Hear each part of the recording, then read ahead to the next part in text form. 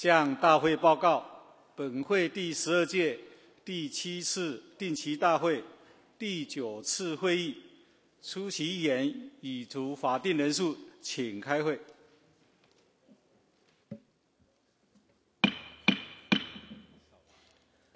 副议长，我们议会各位同仁、市政府各位官员、记者席的女士、先生以及旁听席的市民，大家午安。现在我们开始开会，首先报告今日议程。第十二届第七次定期大会第九次会议议程：一、主席宣告开会；二、报告今日议程；三、宣读本次定期大会第八次会议记录；四、报告事项；五、一读会；一、宣读市府提案；二、宣读议员提案；六、二读会审议司法规案。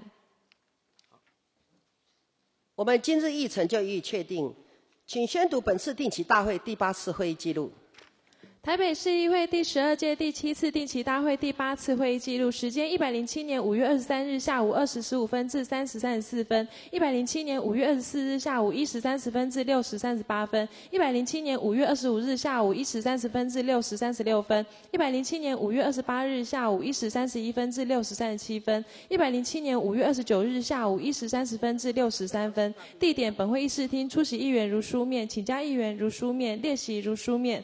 主席吴议长毕珠，陈副议长景祥，陈议员丙府，崔议员梅沙，李议员方如，林议员国成，潘议员怀中。甲报告事项：一、陈代理秘书长报告出席签到议员已足法定人数；二、主席宣告开会；三、报告今日议程；四、确确认本次定期大会第五次会议记录；五、宣读本次定期大会第六次、第七次会议记录。以一读会宣读提案交付审查，一市府提案案号第一二二一零案一决交付各相关委会审查，第一二二一六案交付民政委会审查，第一二二一七案交付民政委会审查，第一二二一八案交付民政委会审查，第一二二一九案暂搁，第一二二零五案暂搁，第一二二零六案暂搁，第一二二零七案暂搁，第一二二一三案暂搁，第一二。二一四案暂搁，第一二二一五案暂搁，二议员提案案号第一二二二二案一决交付财政建设委员会审查，第一二二二三案交付教育委员会审查，第一二二二四案暂搁，第一二二二五案交付教务委员会审查，第一二二二六案交付财政建设委员会审查，第一二二二七案交付教育委员会审查。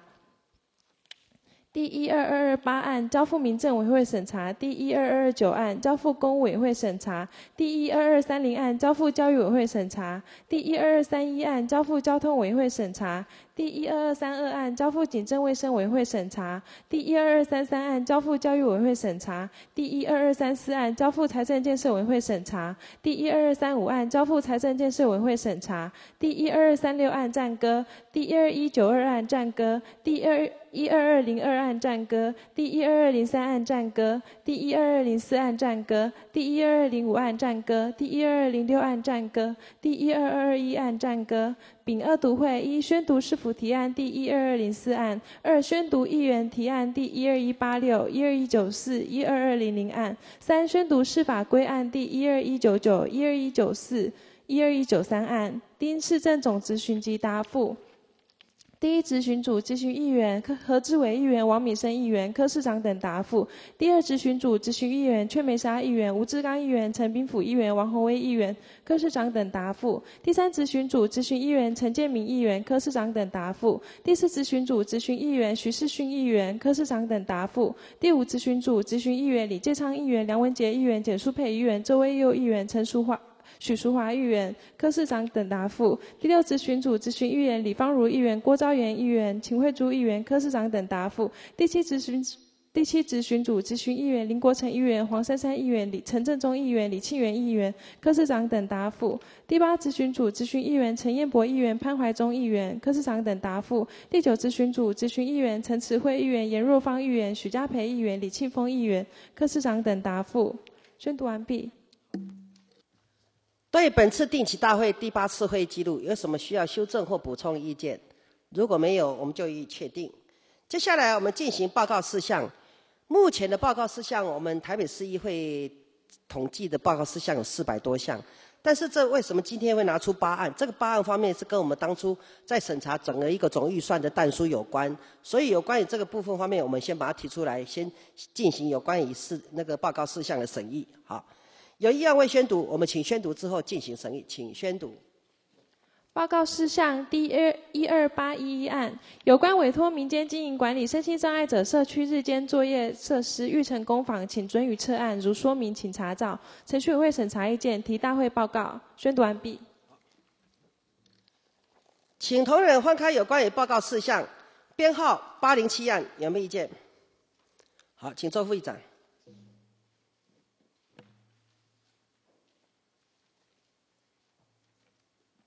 呃，主席、各位同仁，我们从市政府这个报告事项可以看出，公仔当初在规划设计的时候，它是从那个突然用专案的增加容积，所以说用大规模、大户数哈的一个方向去规划，那受到地方的这个反弹，所以他们也重新调整哈，再把它恢复为正常的容积。啊，比如说住宅区二二五的这个正常容积，那以这个华新端这边来看的话，就从这个，呃，它就从四百多户变成一百多户，那这样一个情况之下，可见说市政府在公宅新建的这个政策上，你本来就应该要考虑到，不要对当地社区造成太大的这个环境的。负担还有环境的冲击，尤其我们要在公宅新建过程中，整个附近的公共设施，尤其是道路的规划，这边怎么同时去做一个新建，这都要一并纳入考量的。那现在他这个报告，呃，事项里面针对我们现在看从华新段来看的话，他是有对居民的很多意见做一些回应，然后道路上也有说哪些地方要拓宽，哪些地方要开辟。但是如果说以这个诶华新段这边来看的话，你我们知道这个地方就是试验里这个地方，诶这个基地公仔基地的批建，它主要的这个道路是核心路。那核心路现在本身就是诶不是很大的马路，它有些地方还是特别狭小一点。所以我们是不是市政府在建这个公仔的同时，核心路的这个道路的拓宽，应该不只限于公仔基地旁边的这个道路而已。好，公仔基地旁边的，不管你是东侧或是北侧，啊，计划道路的宽度，你把它按照计划道路宽度拓宽而已，是不是？因为和因为路是不可能这么一段嘛，它是连接起来的。核心路连接到另外头到木栅路，另外一头也到木栅路去，所以它这个整个核心路是一个一个整体的。所以是不是咱今仔日起建户既然要建设，哦，要去地方要起公仔要建设，啊，要个叫都市计划这个这个这个这个我们的原来的这个规划要开辟计划道路的话，那是不是整个核心路相连的部分？哪些地方要同时考？诶，开辟是不是应该纳入考量？当然，市政会讲说啊，你这边卖给我做下的扛代志好不？但是我必须要强调哦，核心路是无偌条、无偌大条的路，而且它也，它那个也是整个这个地区哈出入的主要道路，唯一的主要道路，除了那个呃体呃就是体体外呃这个体外呃体内道路的话，啊呃呃这体外道路的话，也是要经过核心路。连连到木栅路出去，所以是不是以这个案子来说的话，应该是诶更有更远的眼光哈？同时在施工的过程中，把相关道路的开辟也应该纳入考量。比如说，我 以以这个你整个报告里面哈来来讲的话，你有一个是圣安宫那边的哈，那个那个有占用到公有呃公有土地，那那边要把它诶。要把它按照计划道路来开辟，那但是圣安宫的西侧，哦，西侧的计划道路也有一个计划道路啊，哦，就是那个计划道路是和那个核心路这边连起来是十十字形的，那这边的这个计划道路上面又有一些民宅，啊，我我是有一些地上物，那市政府怎么样去去处理呢？哦，怎么样去去去去去面对这个问题？当然。就说，因为我们今天看公仔，那地方居民又要求说要解决交通问题。那解决交通问题，我们是不是只有限于公仔基地旁边的道路而已呢？哎，它它这个它基地总总要延伸出去的，那延伸出去的部分，你是不是要一并来做相关的开辟？我必须要先先强调这一点哈，就是说你今天这个报告，没错，你有回应居民的意见的啊，但是如果以稍微扩大一点的眼光来看的话，哎，还是有一些部分问题连带的问题呃没有解决掉，好，那当然，诶。这个是市政府整体的问题了，不是盖公仔这个呃都花局这个本身的问题而已。这包括这个这个都市计划道路的开辟，还有新公处的问题。所以这是我是诶先提出来一点哈。那另外要不要把那个景那个有关于景美女中的部分停车场一并讲？我再请他来做报告，好不好？这两个案子一并讲。诶，这两个案是拢有相关的了哈。这个 另外这个以华新段来说的话。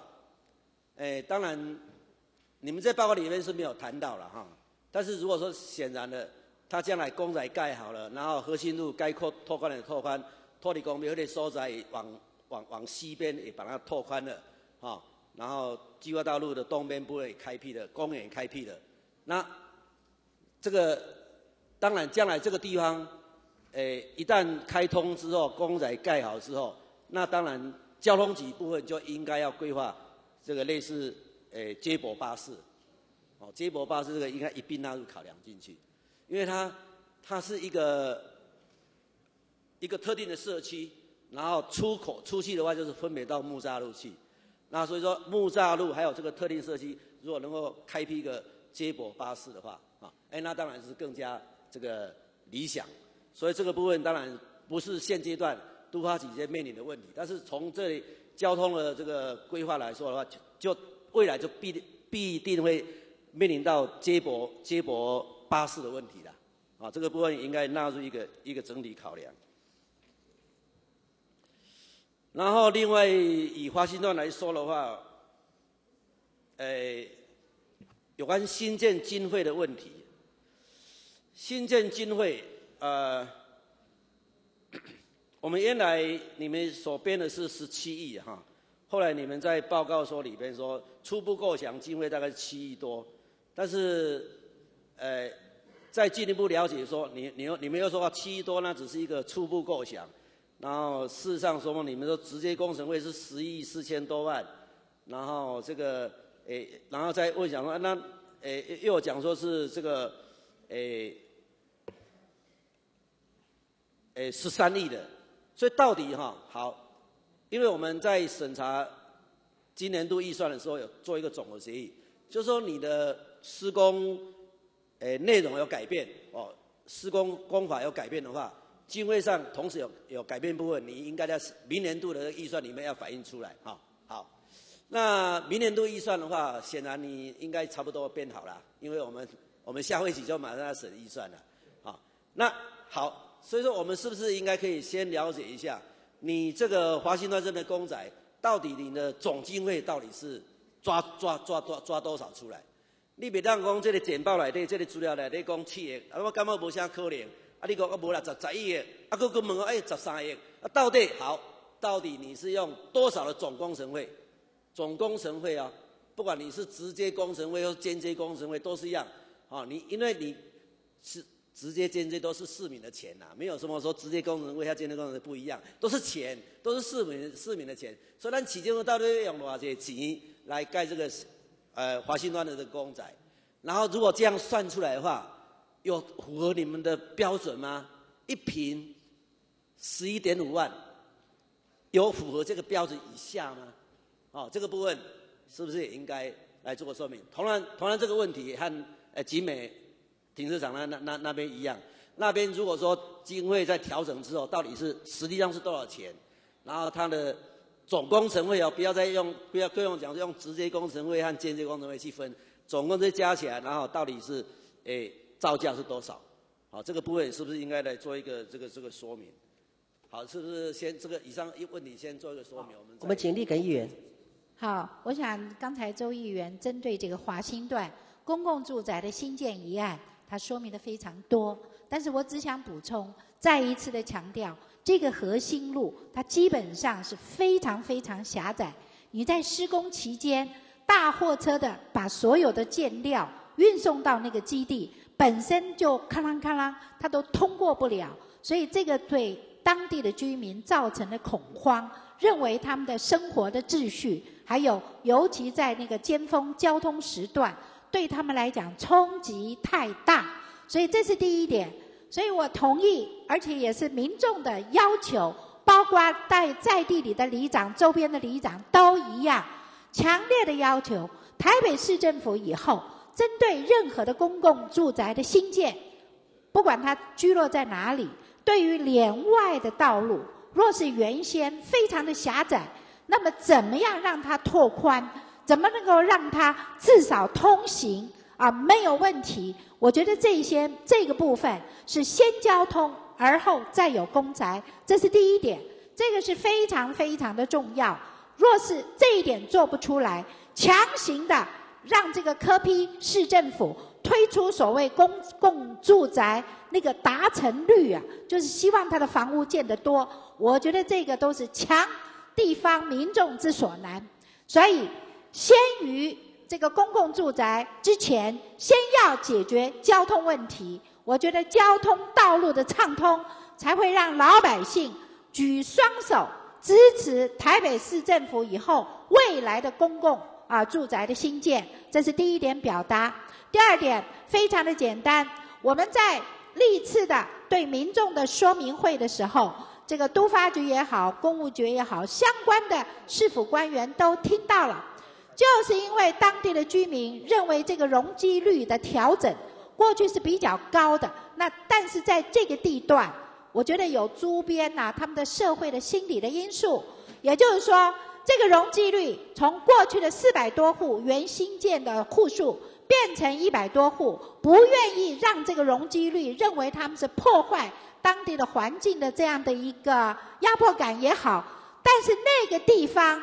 就是因为市府的错，市府没有把这个交通啊的顺畅，老百姓行的这样的一个权利，我觉得把它解决好，然后强盖公共住宅，所以他才会要求这个容积率的居然的变，变到非常的，就变成四百多户变成一百多户。可是现在问题来了，你这个容积率它的缘由，就是我们当时在我们上个啊任期。也就是说，前任的市长的任期，议会通过就是安康住宅这个平民住宅，它的容积率原先是两百二十五，在差不多四十多位哦这些议员的联署之下，我的提案，然后让它 double 变成四百五十，也就是说它的上限四百五十。所以今天大家看到的安康平宅，就是那样的一个建筑物，可以达到二十楼高，所以大家觉得很满意，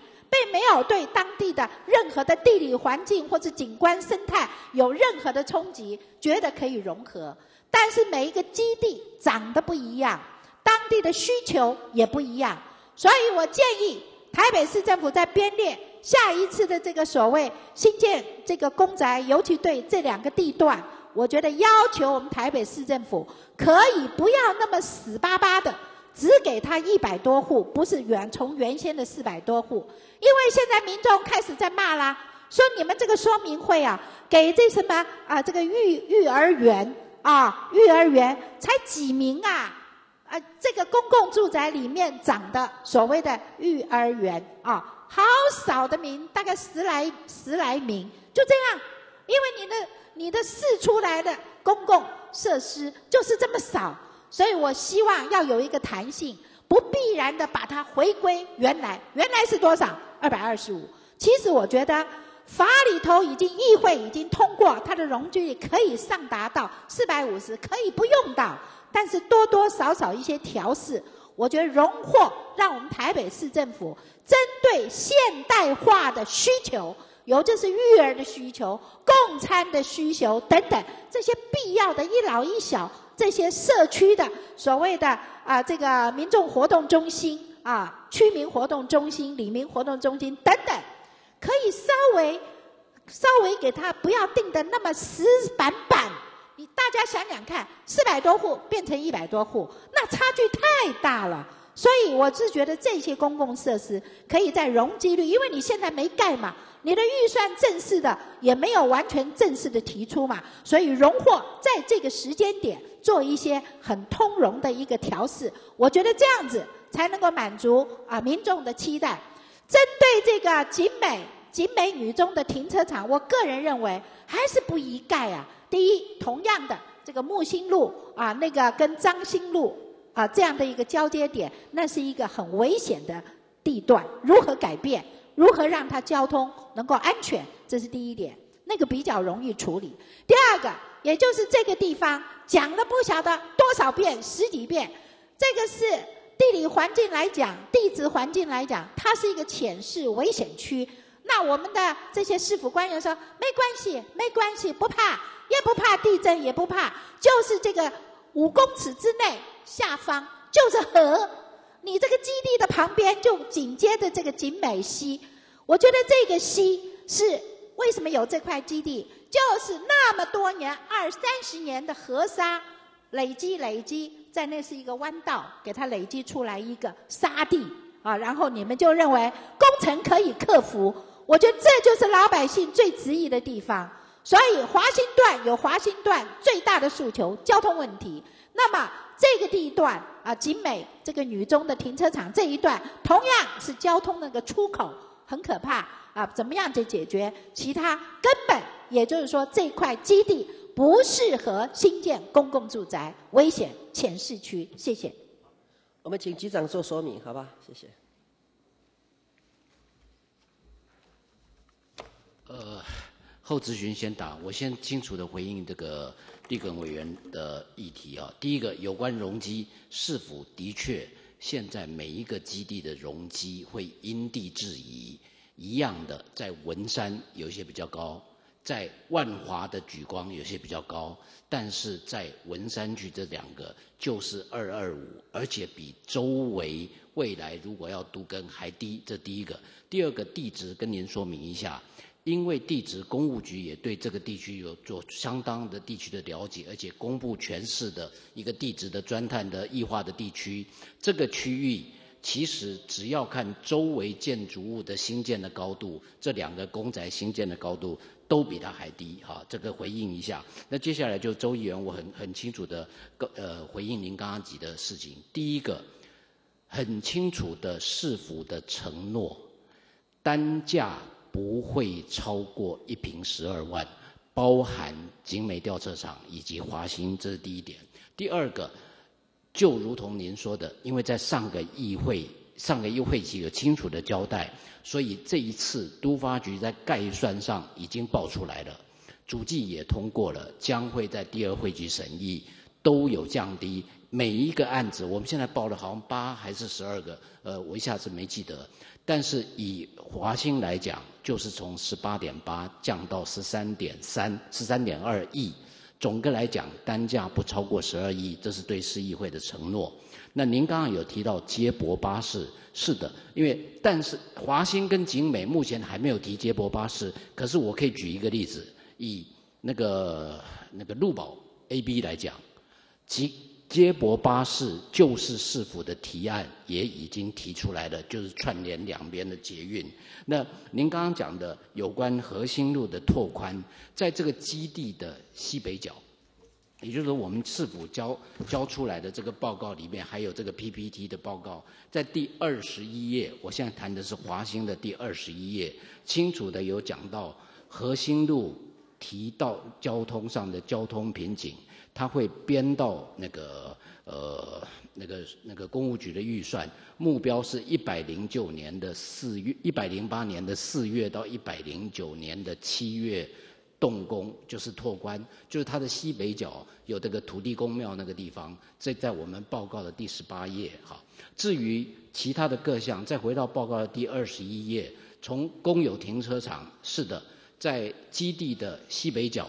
已经纳入都市计划，要把它变成公园，这些承诺都纳在都那个给给议员的报告报告。那我刚刚提到的那个路河堤路上的拓宽，但是在整个居民说明会上，对核心路，呃，台北市府也清楚的说，这个核心路的最东边那个地方要拓宽，其实只有两个两个方法，一个是拆合体，第二个就是拆民房。所以那个整个均匀的拓宽在西边是呃不宜的，在这条路的东边东北角那个地方有一个水利站，也不适合超呃通过。所以整个来讲，市府在说明会的时候是是有说明的。好，整个来讲，那个我我们要说的是，在连外道路，那交通局每次在说明的时候也有跟居民说明。整个来讲。我们承诺的说明的的的的的内容都有到底说明。那另外再回到刚才谈的紧调的育那个幼儿园的那个那个数量，因为这个基地不大，在合理的数字之下，也承诺里民对于在地居民的优惠，这个也跟那个社会局有共同跟里面说明。整个来讲，回应那个各位议员刚才的的垂询。那每个议题，呃，台北市府包含都发局都会很努力的去说明。整个来讲，其实现在整个三十六个基地，呃，就是这两个基地。那这这两个基地，根据上个议会的弹书，要呃经过报告案以后，使得那个动用工程的预算。所以以上是我很快的第一轮说明，谢谢。好，我们请周议长。哎，刚刚局长是回答了部分问题啊，但是还有部分问题还没完全来做说明啊。是我刚才有问到说，核心路的这个道路的拓宽开辟啊，你们市政府有没有一个整体规划，而不是在公仔周边这个样的道路而已？那当然，我刚才有谈到举一个例子说，圣安宫就是那一个庙啊，它有占用一些道路部分这边。会会会会有有征收，有有公务局有牌。好，旁边它西边哈，正好说以东西南北西边的话，它也有部分的民宅占用到计划道路。是的，是的。那这个公园上方，公园上方。对。那那个部分，对公园上方那个地方，对对对。那个那个部分，你们在简报里面并没有讲得很清楚。是，抱歉，那个我很快说明一下，西安内了哈，我们有一种有一种。最坏的打算，万一那个还有纠纷的时候，我的基地的北边我有退缩，好像大概是八公尺。艺术局说车子还可以继续走，但是公务局已经编到明年的预算，这个市长有承诺里长。艺术奇公基地北边的路，那还有个风水嘛，对不对？然后呢，再过去，然后又有个庙，那有民凡占用没有错。这个纠纷，呃，我想没有人可以承诺什么时候会解决，但是在处理过程当中，第一个。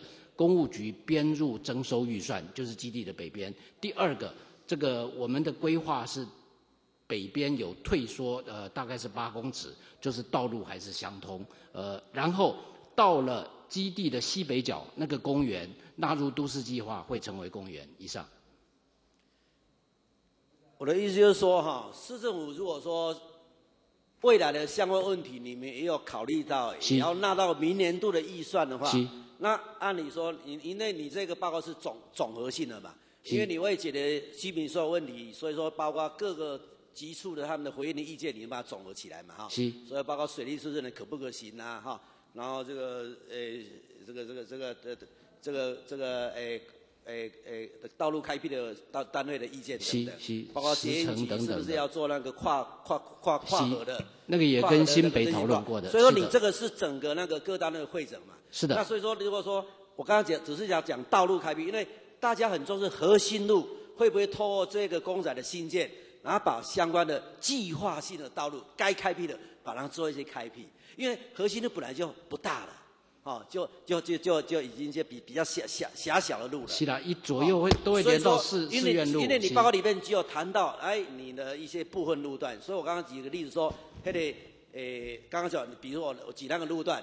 你们，你刚刚讲，如果说，哎哎哎，交通局有纳入相关的土地征收，那如果如果说已经有纳入明年度预算要做的话，我的意思说，啊，接来的报告是无看到啦，呃。我我就是有拍摄，我如果有必要，我会在普通，我应该有啦。我我我都要讲的是 PowerPoint 加啦，但是那两本那里面应该有。我我是我我看这大本的啊，这这这大本你把包括说意见你都都汇整起来了啊。啊，但是道路开辟那部分，讲，那个比如说以圣安宫西边的那个计划道路，那是一个十十字路型的道路，哦，十字路型的那个计划道路，你们没有没有考虑进去啊？你如果说有的话，那那那那你们你们反映在哪里呢？啊，是，因为你刚才讲说，你好像是说你们已经有考虑到明年度要编预算，包括说土地的征收，那如果有的话，是不是也应该讲清楚一点？呃，好，我我我再清楚的回应，免得我讲错哈。我我的意思是说，基地的北边有纳入，然后呢，这个基地的西北角，那个土地庙，那个那个那个公公公务局有编入预算，我多少钱来讲？有编入预算吗？有年度？那个不，公务局，我现在讲的是 PowerPoint 的第二十一章，核心路那个路堤上道路交通瓶颈，它谈的是那个。这是水利处，就是报告第十八页，这个蓝色的。那个和合体那个不一样，我讲那个和合体不一样。合体那是土地公庙，土地公已经刷去山顶啊，我知。是是是。哦，迄较较古早伫伫迄个转角的所在，这个山顶刷去山顶几啊年啊，所以那个转角部分的话是可以拓宽的，哦，那也是合理的。哦，那那你们现在已经已经已经诶诶诶同答应诶已经有计划了。要把它拓宽了，是的，这个是这个这个是是我我我我讲的不是这一段，哈，我讲的圣安宫哦，不是土地公庙，圣安宫还有另外的，你们去公宅北边的所在，北边的所在有一个有一个庙叫圣安宫，啊圣安宫它的西边的地方还有一个计划道路，那个计划道路有没有要开，就是等于是类似靠近未来停车场。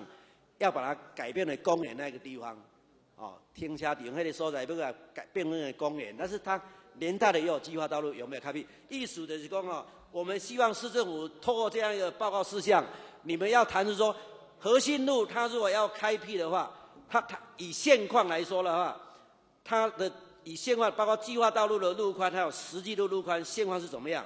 那你将来如果要改善的话，改善的话，你包括说计划道路哪些？要去执行，然后以然然后目前的实际的路宽，将来改善之后会有多少？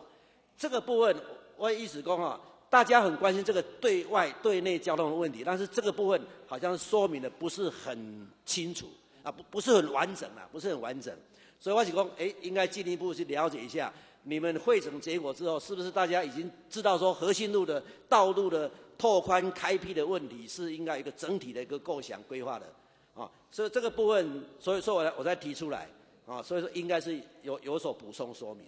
好，那个跟易座报告一下，因为这个这个讯息是这样，圣安宫道路，对，它是新工处会列入明年的开辟计划，艺术提供一概算已经进来了。好，是是这个这个讯息。那那它旁边那个西西边的地方？那当然，那这西边的地方，西边就是我我基地的北侧。十字路型的道路，对对。呜呜呜呜，有十字路型的道路哦。有有我我我再念一次哈，这个因为这是要列入记录的。这个道路上面的橘色的部分就是这张图，讲的是新工处列入明年开辟计划，答案是有的。好，那诶，当然我们马上要审到预算的啦。那但是我想这个还是，如果说已经有概算已经确定了哈，或者有经有计有有有预算编列的话，那还是要补充说明，让我们了解一下。了解。好。不然到时候如果预算编列啊，预算书上面都没有编，那那时时间不是要拖掉了吗？哦，没事没事，现在是概算，概算应该差不多了。是，我我再说一次，基地北边跟基地的斜对面西北角那个庙，那个一路过来含那个庙对面的公园，公园都市计划会变更，基地的北边跟着庙前面都有纳入公务局的预预算。好，我们就希望能够要确定了哈。是的。啊，但是诶，我有点怀疑说，你们是不是把是有是不是有真的把那个十字路型那个计划道路全部纳入计划？这个我可以提一个书面的回应，但是我现在有说是的确有，嗯。因为核心路哈，核心路圣安宫西边的地方有一个十十字路行交叉口的那个计划道路。我我我我不晓得局长有没有听听懂我的意思啊？我我知道，我知道，因为我我我手头上我这边有图了。好，没关系，这一部分呢再补充说明啊。是的，补充说明是最好把图形画出来就知道了。就是的然后哎，你们有没有抓对问题的哈？好，是的，这是这个部分。那另外一个刚刚讲哦，那个你说新建那个经费的问题哈，新的经费问题，我觉得你们诶也是很难这样子让我们诶能够完完全诶相信你们现在所讲的话，因为你这个报告里面，你你那时候为什么写七亿呢？这这里面为什么会写？新将来新的机是抓到七亿，为什么为为什么会抓七亿呢？不，拍谁？从现在十八点八降为十三点二，你没有写在这里面呢、没有写在这一本里面呢、在我们的概算有写。嗯不，你但是你这个报告里面没有写啊。你反而反而你你你你你跟他讲说是抓抓七亿啊，七亿没有，我我我先这样，有一点我非常确定，每一个案子的单价不会超过十二亿，这不是呃一瓶十二万，这是对议会的承诺。目前为止，每个案子都是朝这个方向。如果说以目前你们规划的平数，总共是要盖六千零二十平，直接工程费有十亿多的话，每平的单价就会达到十九万多。那你简报第六页的第有七亿五千，呃，七亿五十七万多，如果把它除下来是十一点十一万六千多元。你若按照你给我们的报告里面，单价是没有超过十二十十二万，但是你如果按照这个，诶，直你所讲的直接工程费十一多来算的话，就每平的造价就要十九万多。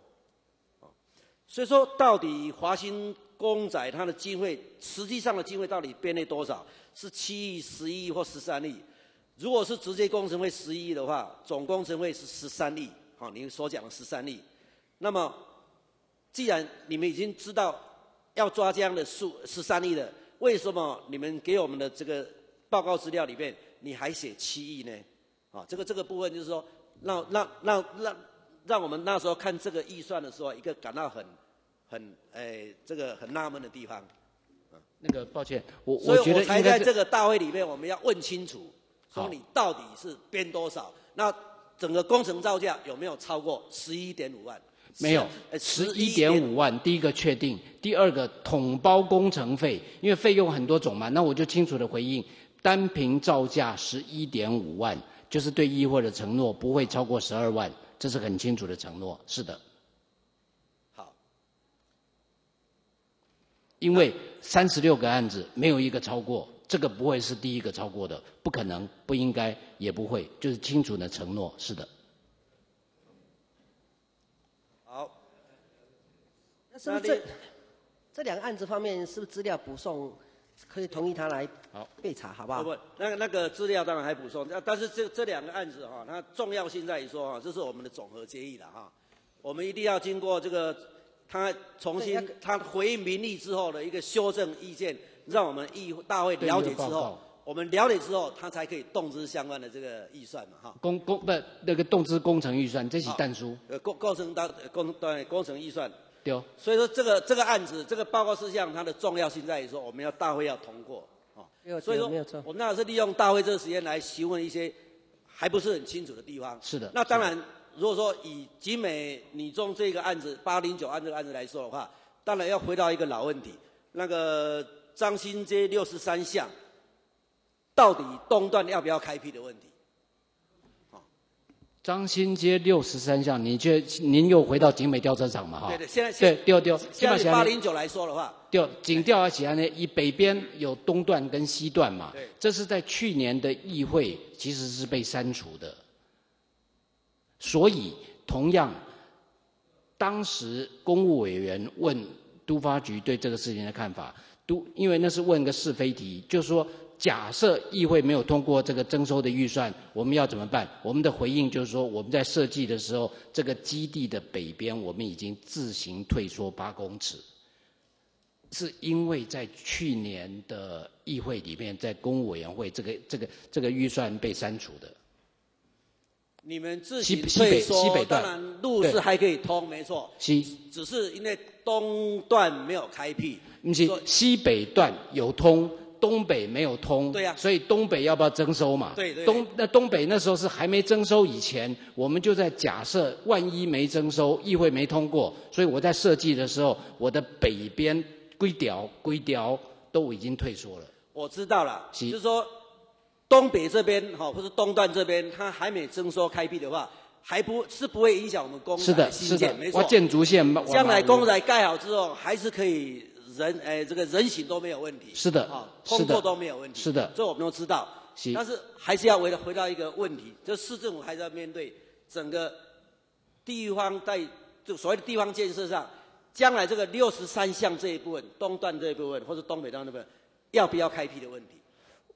这个当然是，因为现在我不是尊重去年的工委会的决议嘛，那要不要开？我想到到的下个阶段还可还是可以持续讨论的。你不是持续讨论的问题啊，这个本来预算是你们有编，只是因为议议议会没有通过。西西西，议会没通过，那议会没有通过，当然有很多不同的因素、很多是状况之下，后来没有通过。是但是你们市政府原来的计划是要要打通了，对对，是要打通的啊。对只是因为预算没有再通过，没有再通过，你们做一个，诶，还还是可以把公仔盖起来，不会影响通行等等。那我们也接受。我基本上这里说这个公仔可以盖就盖，然后因为你基本上包括说整个量体都有减减少了，哈，户数都有减少。当然，我们还是一直很注意说，你那个工程造价绝对不能超过十一点五万。绝对那机长你保证哈？是的啊，清楚的因因为我们，诶、不能够浪费大钱做这种建设。很清楚的所以，这个不能不会也不应该这个已经说明多次是的，因为这个八零九案这个报告事项，就牵涉到一个说，你公仔盖好之后，那是不是以后六十三项那一边你就不管了？嗯，应该不是安尼讲，其实这个不是你突发，也不是你纯粹突发也，是市政府的政策问题。是不然当初为什么你们要编这个预算来呢？哦，你为什么要把它打通呢？因那只是因为没有打通，所以说你们前理之计还是可以做。那那是不是以后就永远这样子的呢？以后那边就不管了呢？理想上啦，其实北边整条都没有征收，但是西北现在有通，东北没有通，所以我们去年只有编东北啊，但是东北后来也被被被撤案嘛啊，东北是被删除嘛，所以所以我我诚实的说，我没有办法清楚的回应易易作刚刚的问题，因为这是整个市府的政策的问题，但是就都发局来讲。因为已经被删除了，而且我同时在规划的时候，我就西北呃整个北边我就退八公尺，这我都要有讲啊。当然了，也不能由你代表市政府来讲是但是事实上，你们当初边要打通，就是有有打通了这个整个计划性的需求嘛，哈。因为那个地方将来还是有，是是长远来说，还是有需求。是的，是的，整个道路的这个连结性才能够比较通畅嘛。对，所以说本来是应该是要打通的。所以才所以我只是因为。这个报告，这个报告有牵涉到过去有一个预算被删除了，然后当然不影响我们公仔的新建，没错。我也主张公仔可以盖的话就赶快盖，不要再拖延时间了哈。嗯但是，所以我一定要通过这个报告事项，所以我们议会要问市政府说，那你以前没有被没有被通过那个预算，那个计划是不是永远都不做了？当然你，你你你你呃，其实啊，市政府要对外发言的话，你也是也也是算主政机关呐、那要不要做？呃，我我想这个这个是公务局跟，因为这是公公务局主政嘛，但公务局会参考都发局局的意见。我我想到下个议期，我我们再来排这个优先顺序。因因为已经去年被删除了，至少我今年没有排优先顺序，也许到下个年度可以排。你你当然可以讲说，只是没有急迫性而已的。但是按照一个理想性来说的话，它还是要打通的。了解，是的，哦是。你可以讲说，目应应该前来说是这样讲。，并不影响公彩的新建，所以没有急迫性。但是按照整个地区的发展，还有交通的规划、交通的顺畅等等，那个地方市政府原先的构想还是应该打通。是的，是的，对对对应该要，继续谢谢易座，对，继续是是这个方向对，应该是是这个方是这个方向，是没有错。那谢谢我我们就是说，就是说这个报告里面，你不能够永远把那个六十三项这个问题就永远都不管了啊！你们还是要面对啊，未来是要面对啊。是的，所以，因为只是说今天要通过这个报告事项，我们还是要再询问一下，了解。至少让我说啊，以后以后大家都不动了，我是说，哎，我们还要继续努力，我们也要了解呀、对，那那那就是我那我对您这个议题的回应就是说，在在理想上，应该这个基地的北边应该要持续编入这个预算。呃，本来你就是，尤其都发局，你是应就应该要要提出你的意见嘛，了解，啊、了解，呃，当然将来的预算执行是公务局哈，他们新新公司要开辟道路嘛，是但是都市规划是你嘛，是的，哦，所以说这个你本来就应该说啊，我们要继续在极力争取，了解应，该是这样才对啦。了解，了解，是，应该是这样的。好那有关于 八百零七案以及八百零九案方面，是不是等程序具足的时候，我们就不讨论了？程序具足的时候，我们再来通过，好不好啊？这个但是资料要要通过，一定要程序具足。我知。道，那但是资料还要补送，还是要补送，好不好？好那就是以后程序处理，这两个就不再讨论了，好吧？战哥，这先想要借注明，那局长请回座。七百八十一案有没有意见？好，没意见我们就同同意。八百一十一案有没有意见？没意见我们就同意。啊，是这撤回案这个七八一和八一都是同样的案子啊对。撤回案，那当然，这个，呃，还是要说明一下了哈，因为你送来一个案子，你本来想想要做日间照顾中心，那后来又想想说，哎，哎，还是不要好了哈。那个但是你给我们的理由是说哈，这个该案场地后经本土社会局评估，尚有儿童及老人之迫切福利需求，故原来要在四楼设置身心障碍者日间座位设施的规划，我们就要另行空间来办理，所以这个案子就撤案。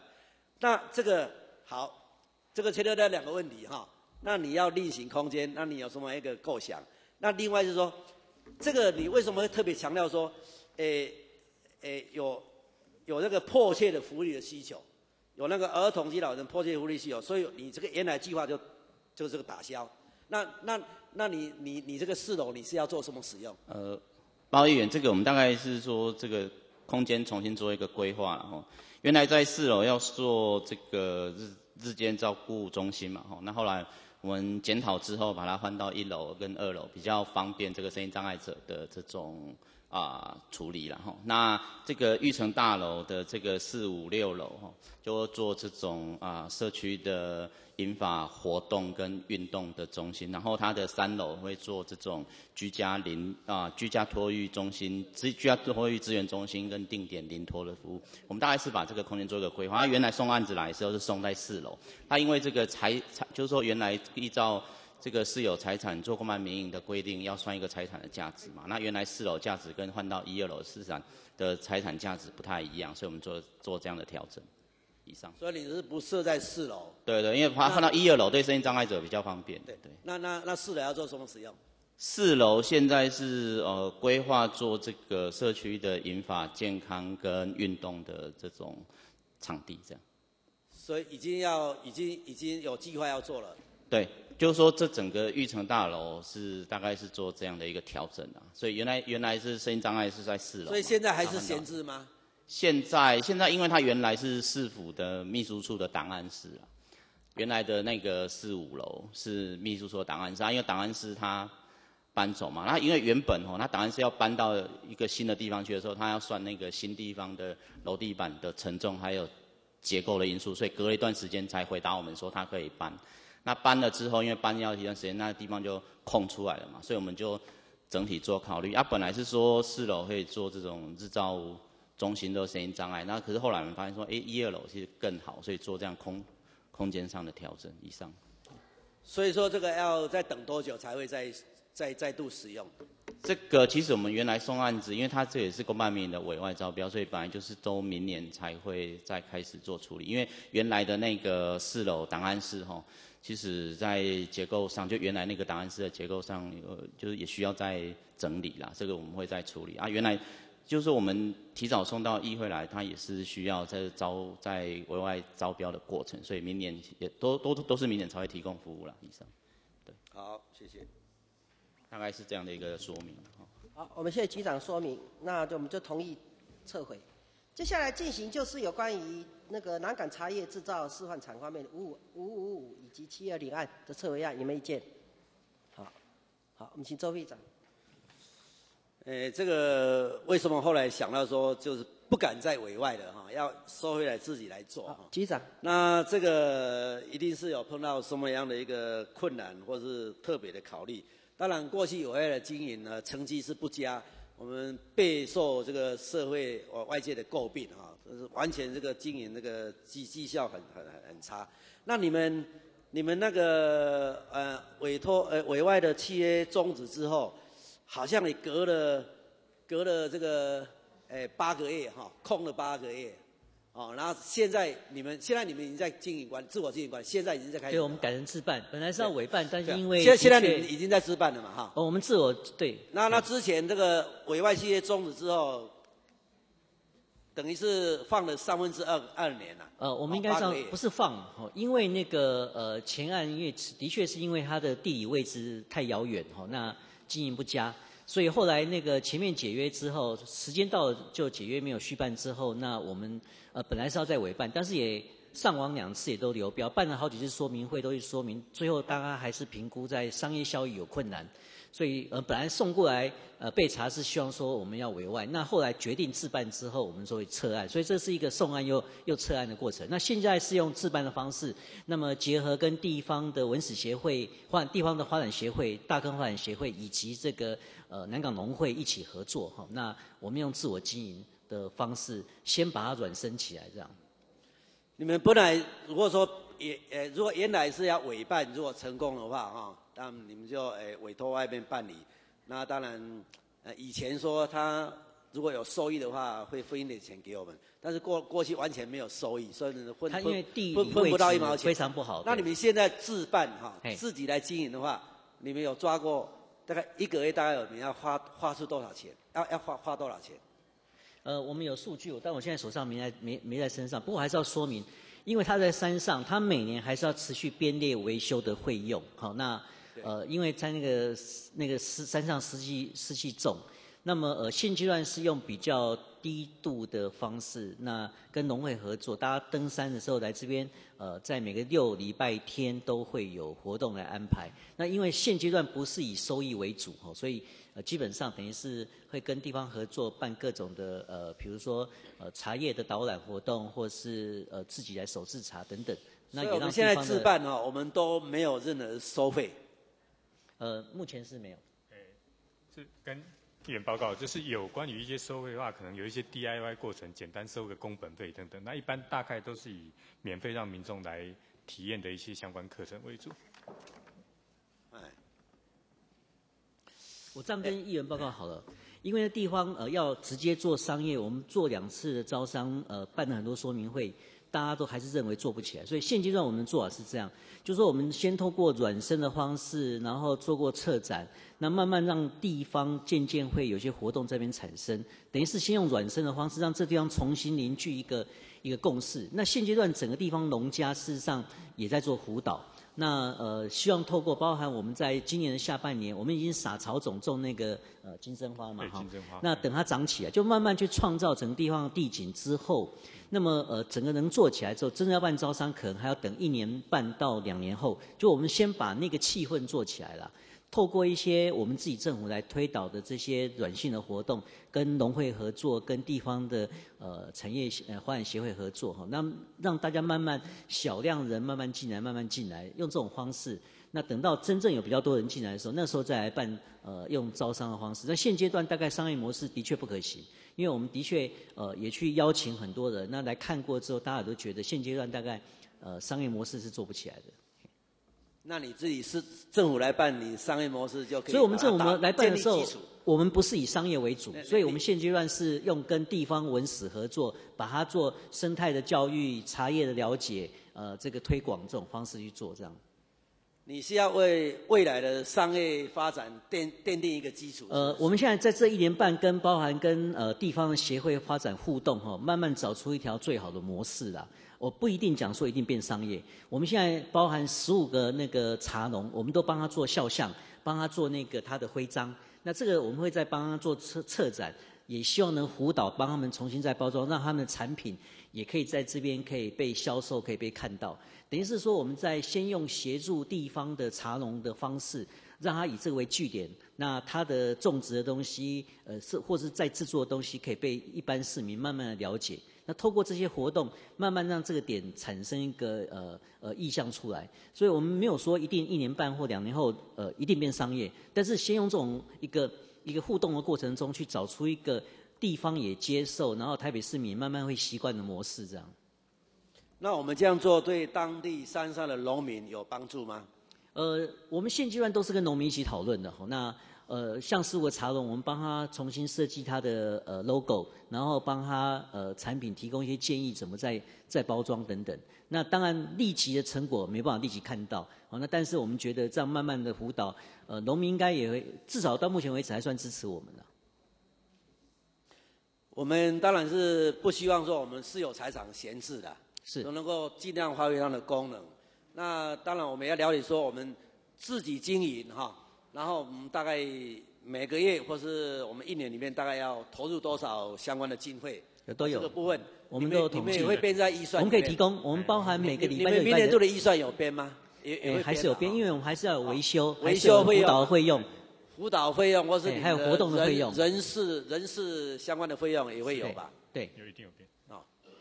所以我想，这个这个部分就是说，南管，诶，南管茶园这一部分，明年度的预算里面有一个具体的一个预算项目。而且我们是唯一哈，我们用以工代赈，以当地的这些呃居民、农民来这边当辅导。所以我们是在台北是唯一，我们现在还用这种呃呃呃这个以工代赈的方式，让他们来来做这种。你这个以工代赈和社会局的不一样吧？没有不一样，不一样，不一样。我们是用地方的人来这边去做那个说明，做那个。对呃呃，我们也是支持你们尽量要想一些好的方式、好的点子哈，能够让这个地方活化。啊，这个地方还是要，虽然我们投入一些钱没关系，让它活化起来。是那当然，这个诶诶诶，这个这个对整个地方的这个发展或产业的发展，希望能够带来更多的帮助。了解。啊，那当然你们要这样做的话，诶，可能要同时要解决那个交通便利性的问题。那你们这一部分有已经有跟交通局有进一步来做什么合作了吗？呃，现阶段哈，我们有讨论过，因为现阶段游客没有那么多，那么目前小巴去增加它的班次，其实没有那么多人坐，好，所以我们是讲有办活动，我们就会协调是在那个有办活动的时候来加开。那么如果没有办活动的话，假日原则上还是照现在班次不增加，因为。你增加，可是因为那个呃公这个巴士的经验那我们一般的市民怎么知道哪时候有办活动？所以你才会加开我们办活动，我们就会宣传。我们我们所以现在说我们这个加开班次到哪个地方去坐车这样子？呃，他还是照原来班次呃原来的这个巴士站的位置，只是说一天的频率会增加这样。就它不是一个常态性的这个频率增，因为那你如果说有办活动的话，你大概会增加多少那个那个车呃车我们要交通车的频率？看那个活动的呃大型或小型。我们现阶段实施了吗？已经开始做了。我们现阶段还没有办到那么大型的，对。但是有讨论是说，如果说真要办大型的，我们就会来做。所以刚刚机长所讲的，你是一个构想啦，你是构想这样。呃，有有讨论过，因为现阶段增加班次会。没有人做，那对巴士经营业者来讲是变成是。你是个构想，那还还还没真正去做了哈。嗯，没有。当然这个要有办大活动的时候就会来做。事实上，呃，一年里面总是有一两次大活动啦，一定会有的哈。包括说我们南港的桂花节啊，哈，还有我们呃南港的这个呃茶叶哈，它大型的活动一定有一个一年里面有一两季哈，它是可以去办一个大型活动的。是。啊，是。说这个茶叶是。是要以茶叶为主题，就可以办很多活动了。了解，是好。那这个部分，我们应该跟农民好好的去研究一下。了解。哦，那一年来的那种算什么时阵哈？啊，首先设计一下，当时哈，啊，咱来办什么活动？那已经都设计好之后，你就可以提早做一些宣传了。是。哦，这样这样的话就活就会活络起来啊。了解。当然，我是纯粹从那个你们那个活动人数统计来看的话，你们自办之后，啊，你们都还维持。呃，大概一千一千多到两千人这样子，啊，比比过去好像还好一点呢。过去都归呃三四百的哈，那你现在有有因为我们这个不是商业性活动了，我们是等于是会有办教你怎么演那个演茶，然后茶的导览，然后品茶各种，好，还有那个蓝染的课程。好，因为是我们要我们同意说你来，诶、这你你你是策案而已的。那事实上你已经你没有策案，你已经也是自己在经营的，对不对？哦，所以说这个案子是，你就是没有车案，你也是自己在自己在经营的。那只是诚意上对对，因为我，们原案是因为委外经营，等于是我们撤掉委外经营这个案子。你你今天只是把说你过去有说一个报告事项来，然后这个报告事项说，事实上你们已经没有在这这样做了，没有再继续委外了，所以把这个案子撤撤去撤去而已。那我们也知道说，事实上是这样子。那诶诶诶，那所以相关的问题的话，我们也在明年度的预算编列的时候，我们可能就进一步了解说，你们自己经营以来哈，你们到底有没有什么进展？是有什么成果？然后你未来的预算编列是不是能够抓住未来那个诶要点啊？那个有有那个跟议员报告，其实财经委员会有要求我们定期都要缴交报告，就是我们的经营状况。哦，这样子啊、财经委员会有要求我们对好好好那到时候我们预算审查的时候，我们再进一步的来来来来了解你们相关的内容。是是好，如果没意见，我们就同意撤回。好吧。接下来我们进行七百四十三案，有没有意见？是委外案的。好，好，我们请洪建义洪议员。不，你你你先了，你第一次发言。来，我比较纳闷的哈，来局长，这件案件来，是教育局还是你们？教育局网球中心。哦，体育局啊，体育局的，不是教育局。体育局我比较纳闷的是，在你在一百零三年规划的时候，是当时候是好不容易招标出去十七点多亿，是，那后为什么后来你在前置作业要招标，难道没有符合国际性的要求吗？为什么后面工程完再来变更设计又要花两三亿啊？啊是报告一做哈，因为国际竞赛的的整个过程哈，我们通常大概会依据赛事去做设计规划，但是等到赛事接近的时候，它会有一种叫做技术代表 TD 的产生。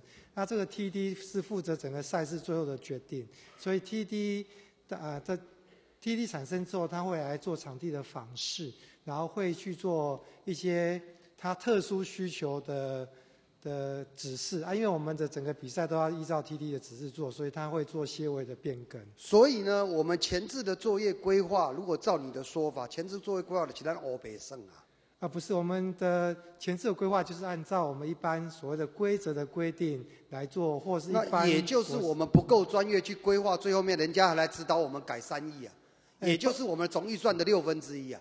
啊，报报告一做，大概不是这样，因为哈，大概因为在二零零九年的世界运动会的时候，我也曾经当过 TD 啦哈，所以我有我有呃类似的经验，就是我们在场馆规划的时候，大概就是符合规则的规定，但是因为每一个比赛会有竞赛规程，所以竞赛规程有时候会做某些的修订。那您也知道，国际规则世界大学运动会原则上竞赛的规定不会因为场地的长短或左右而增加他比赛的，譬如说网球，我我不会因为什么原因导致于我网球的球场增加十公尺。哦，这不会不会。那那不会的情况下，为什么要去更改原本的设计，多花三亿呢？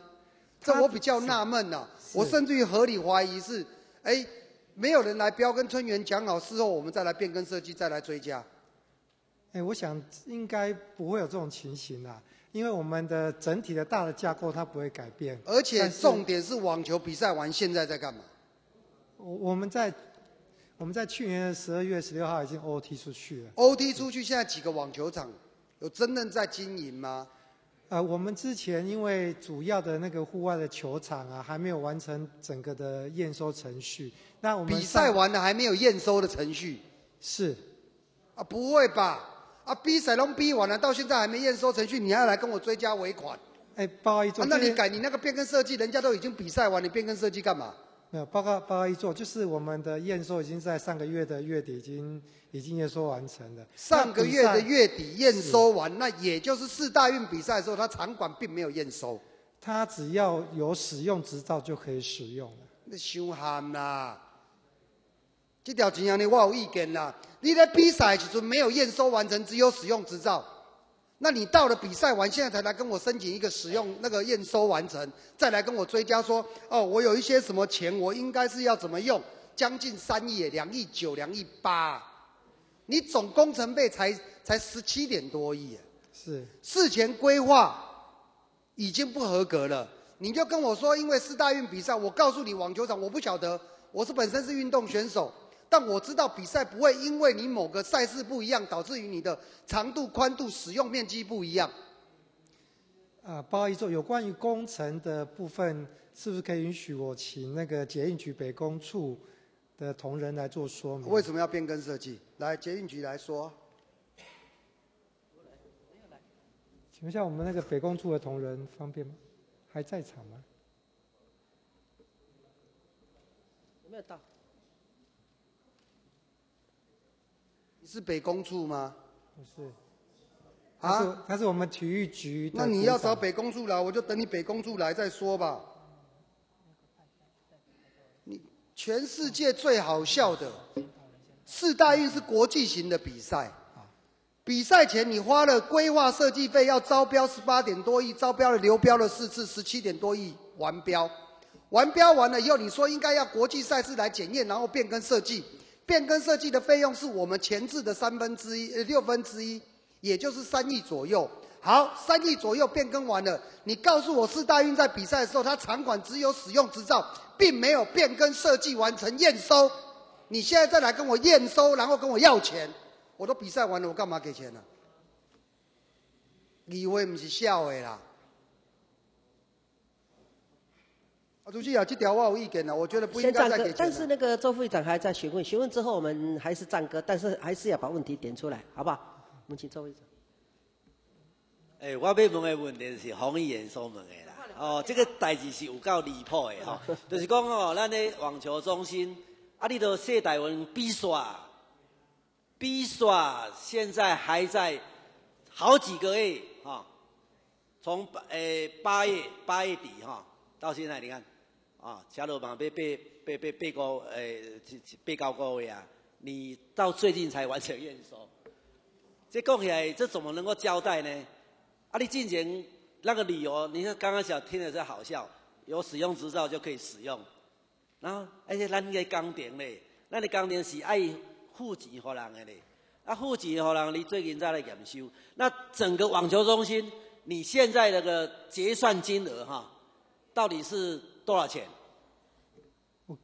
不好意思，我可以请北工处同仁。北工处是哎，那隆重开多少钱？呃，现在结算金额是十九点八五亿，大约是十九点八五亿。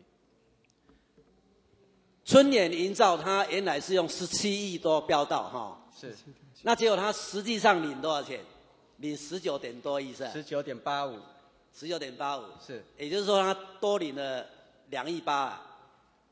但是也不能说多领，就是因为我们施工过程中有变更设计，那大部分的变更设计都是在一百零六年，呃六月之前就完成了，然后所以才拿到使用执照。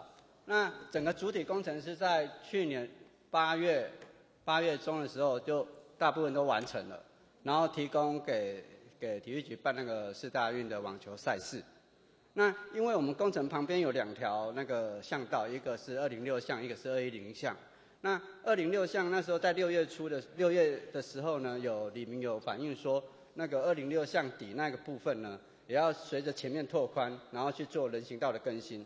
所以我们这个我们是纳进这个标来施工的。那所以针对那个部分呢，必须工期展延，展延到去年十二月呃十五号，所以验收才会在今年四月底才会完成。是这个原因。那所有的变更案，其实主体工程的部分都是在去年的呃七六七月的时候，都大部分都完成了。八万倍。整个网球中心的变更企业哈，总共变更了几次？变更了十七次。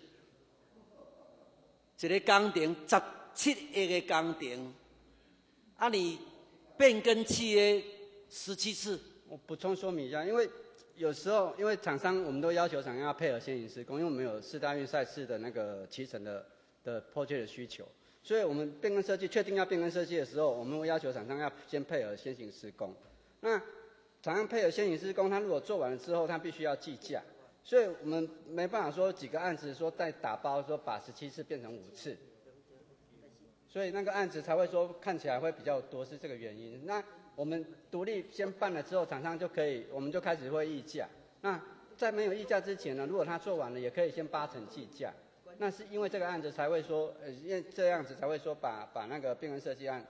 哪刚哈？如果说一个工程重大工程的一亿以上的叫重大工程哦，哈，你何况你是十七亿的重大工程，结果能够变更来变更去变更十七次，而且大你还你还敢讲说大部分都在比赛前就变更了完完成，哦，那意思是说等一下再问，还有小部分是在比赛之后还在变更的，哎，等你再问哈。那所以说这个你不会觉得很可笑吗？重大工程可以变更来变更去弄哦，就是是不是代表当初的规划设计就有问题呢？然后这些有问题的该多付出的钱是由市民来付吗？哎，这个都很奇怪的。我现在比较质疑的有几个问题，也麻烦你们回答一下。你的重大工程乘以十七倍，然后呢，一亿一次嘛，一亿重大工程就算一亿的嘛。你有十七亿，那就是十七次的重大工程，你全部给我变更十七次，这很离谱。第二个，我想要主张的就是说，刚才局长有跟我说，啊，那个北工处有跟我讲，有一些是因为因应民众要求，最后面到人行道拓宽，啊，过了比赛完了，你在拓宽人行道干什么？你听我意思不？局长跟我讲的，跟你跟我讲的是有冲突。你跟我讲的是讲说比赛完了以后，因应旁旁边的居民要求人行道拓宽，我不晓得有没有征收的费用。那你光人行道拓宽，你花了两亿多，还是两亿多里面有多少是人行道拓宽？那我想问一个问题：国际性的赛事比赛完了，台湾的意向已经确定了，你跟我做人行步道拓宽干什么？哦，很纳闷。而且第二个，那个地方是鸟不生蛋的地方，没有什么人潮的地方。第三个，总共有几个网球球场？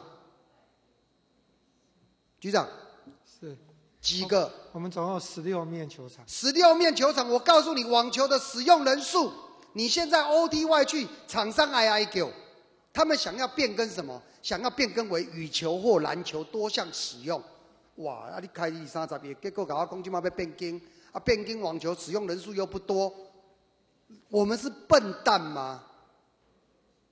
如果你现在跟我要这些钱，然后竣工完备了，申请使用执照了。也都 OK 了，那最后面再来变更使用，变成篮球，变成羽球，变成多功能，那你花这二十几亿干什么？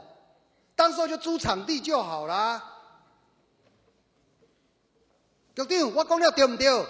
你们 OT 是把烫手山芋丢出去，管理了，人家这半年也赔赔了六七千万，因为没有人潮，小吃店不会过去，等等，那也就算了。可是你换个角度。你现在我钱给你结算完了，没有问题了。我们两亿多都给你了，你也用完了。那请问一下，再来呢？就变更使用，只要你体育局同意，就可以变更为游泳池，或者是变更为所谓的啊羽球场、篮球场，行不行啊？呢？因为你要让人家 OT 有可以办法经营，可以赚钱呢，不然谁要跟你 OT？这就俗称的蚊子馆啊，不好意思，现在我们。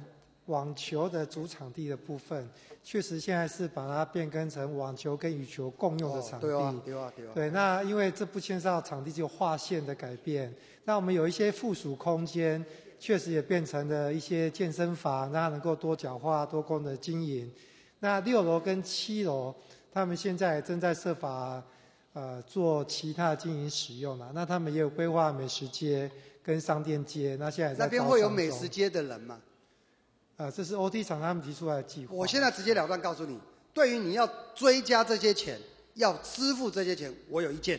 至于你 OT 如何管理，我只是提出我的看法。我觉得很好笑，花了二十几亿，就告诉我说它变成要复合式的使用，而非所谓的专业羽球使用。为什么？因为专业的羽球使用，使用人数不高，租金过贵。好的，谢谢你。所以我个人认为，这个追加款项，以我个人立场，我认为不应该给。好，谢谢。那赞哥好不好？哎，这就是啊，今仔日迄个捷运局的北工处的处长无来哈。又不来，嘿，不来。不来哦，啊，我我这个报告事项跟因北公处有关的。有下次讨论的时候，请他们邀请他们过来，好不好？哦，啊，我今天北公处你是嗯什么样的职称？我是那个承办公务所。公务所。是。是网球中心的公务所。对。诶，公务所的什么职称？哦，规划师。规划师。是。哦。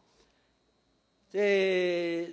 北工处哈，这样也是很不负责任的哈。这个报告事项哦，这么重大，而且他等于是多用了两亿八，那结果你们是这样轻率来做一些，诶，要向议会做一些说明。因为刚刚哈，如果说我们是没有事先调资料还不清楚，你刚刚这样讲哈，真的是要混淆视听。他总共变更契约十七次哦，请问在？比赛前变更了几次？比赛后变更了几次？你知道吗？是这样，我们比赛后只有两个指案，一个就是赛后复原，一个就是刚刚讲的那个二零六巷尾的那个人行道更新。变更七月十七次了哈，是十七遍哈。是。我们赛事是到一百零六年八月三十号结束嘛？啊。八月三十号结束，八月三十号之前，啊，你变更了变更契约几次？之后变了几次？你知道吗？你刚刚跟我讲说，大部分都在比赛前来完成变更契约，不是这样子，就是这样子，就是十七十七比赛之前，我们比赛之前就是十七次里面扣掉那两个子案，都已经办过会刊了，办过会刊是会刊，变更契约就是跟已经完成。这个变更的一个契约的签订，那才算是变更契约嘛。你前面什么会刊呐，怎么讨论呐，那都是还没确定嘛。变更契约十七遍，我是讲哦，天哪，刚好一个一个太奇怪的现象。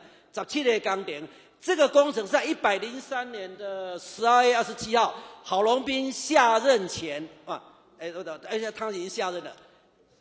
柯市长上任的时候签的契。诶诶呃，哦，这个这个诶诶结标，一百零三年十二月二十七号结标，春年营造得标十七亿多，哦，那时候郝龙斌市长已经卸任了，柯市长上来了，一百零三年十二月已经结标之后，一百零四年、一百零五年，两年再等于时间，你们也没有什么变更期约。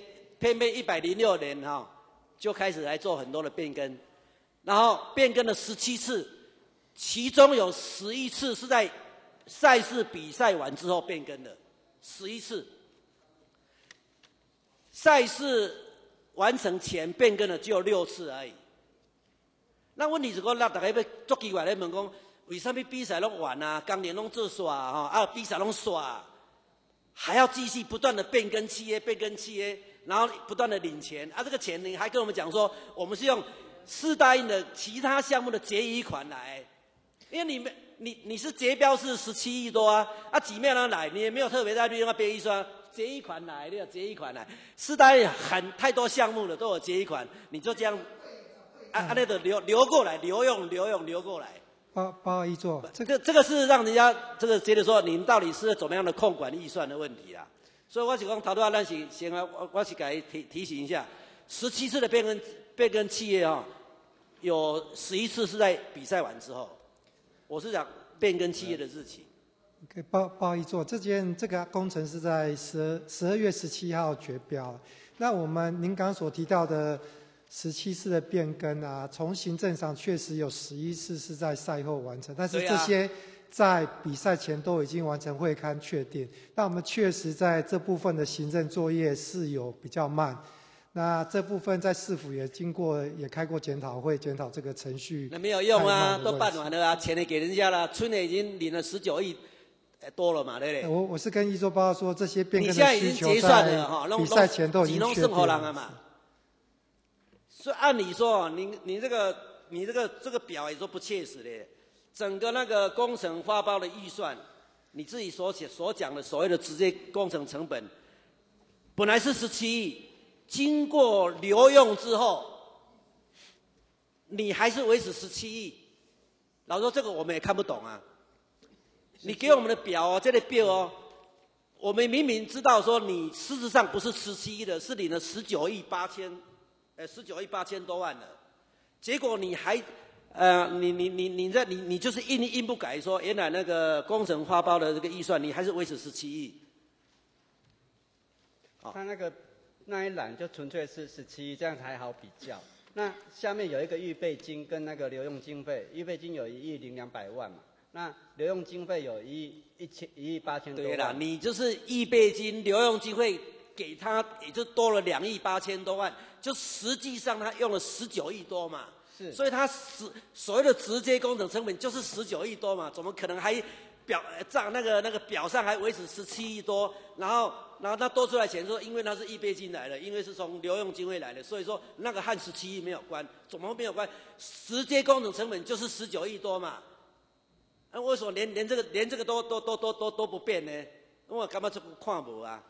那这个如果我们没有先调资料来看的话，我们也不晓得说，你你好像你们讲说我们我我我我们就就就就就就接受什么？其实上不对呀，所以我我我之所以要特别再提醒一下说。你你你头到港湾打回公公啊啊，大部分都是在那个这个这个比赛前哦，大部分变更都完成了，然后后来才小部分，但是这个完全是背离事实啊，啊，这这这这是没有诚实报告议会的哈，这是不对的。那啊，我再补充一小点就好啊，你这个第七的第七次变更啊，就是说四大运之后三个月、三个半月，你还变更契约，变更什么呢？屋顶水箱位置变更，空调系统弱项，分离式冷气不足，高压壁垒接地哦，这些项目了，你就把它变更，然后，这个是不是很奇怪的？那之前哈，哎，八月十四号就是四大运开幕前五天，你还突然再花了两千五百万处理土方的清运。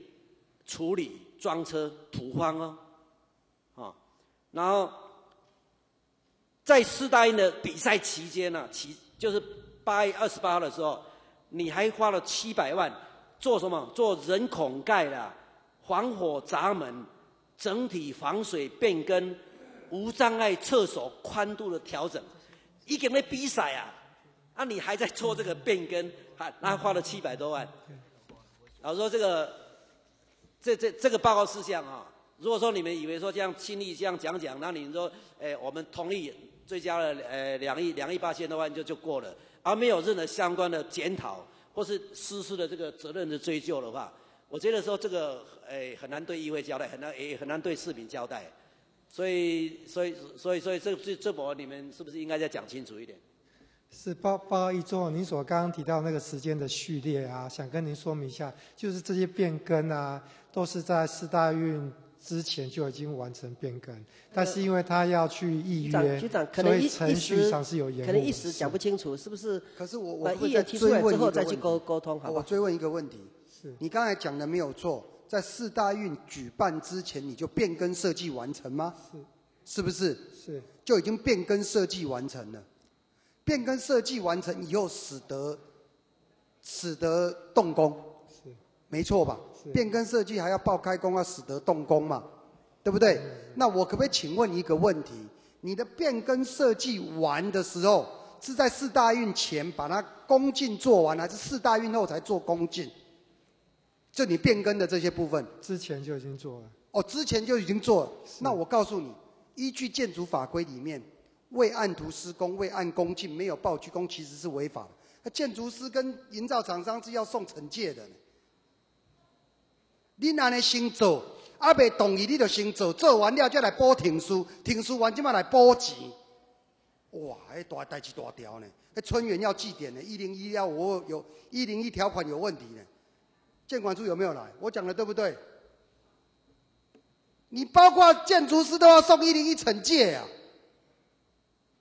你申请还没过，你先搞我党纲党框完了申请，申请完了，等到现在才在报竣工，等四大运比赛完才报竣工。我你讲这代志大条哦！我叫郑峰师下去查，我代志大条，我不跟你骗。好，这个案子战哥，我们再去沟通，好不好？这局长请回座。接下来我们进行七七九案，有没有意见？好，我们请陈议员。不是啊，我们是要懂啊，因为你这个是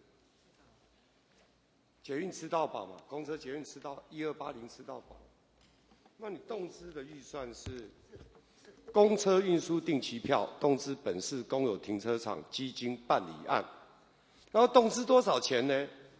后面有写嘛哈，动资停车场基金支应本案补贴款新台币四亿元，那你这个政策，我有意见的讲，除了政策以外，来这一个报告案啊，我有意见是说，没有经过议会的讨论嘛哈，你们已经实施了嘛，在四月实施，今年的四月，现在五月，然后是双北。为了鼓励什么？你们上都是里面写的，为了鼓励私人运具使用者改搭乘绿运输通勤，双北市政府合作推动捷运加公车定期票，也就是民众购买定期票，可以在三十天内享有台北捷运及双北公车不限次数、地点及方向搭乘。还有可以享受本市公共自行车，就是 U Bike，前三十分钟免费继承，然后用补贴的方案来。那么先第一点请教，说局长，现在新北市 U Bike 前三十分钟有没有补贴？呃，它是新北现在现行。对，它现在呃是由新北市政府补贴的，前面十块钱。我们现在我是讲 U Bike，先讲 U Bike，对。现在台北市早就取消了嘛。我们前三十分钟没有。我们是补贴五块钱。补贴五块，以前是免费嘛？是，对。以前免费是。现在啊，新北市哎。它是补贴十块钱，就前三十分钟。必然给我扣嘛。比我们多五块钱。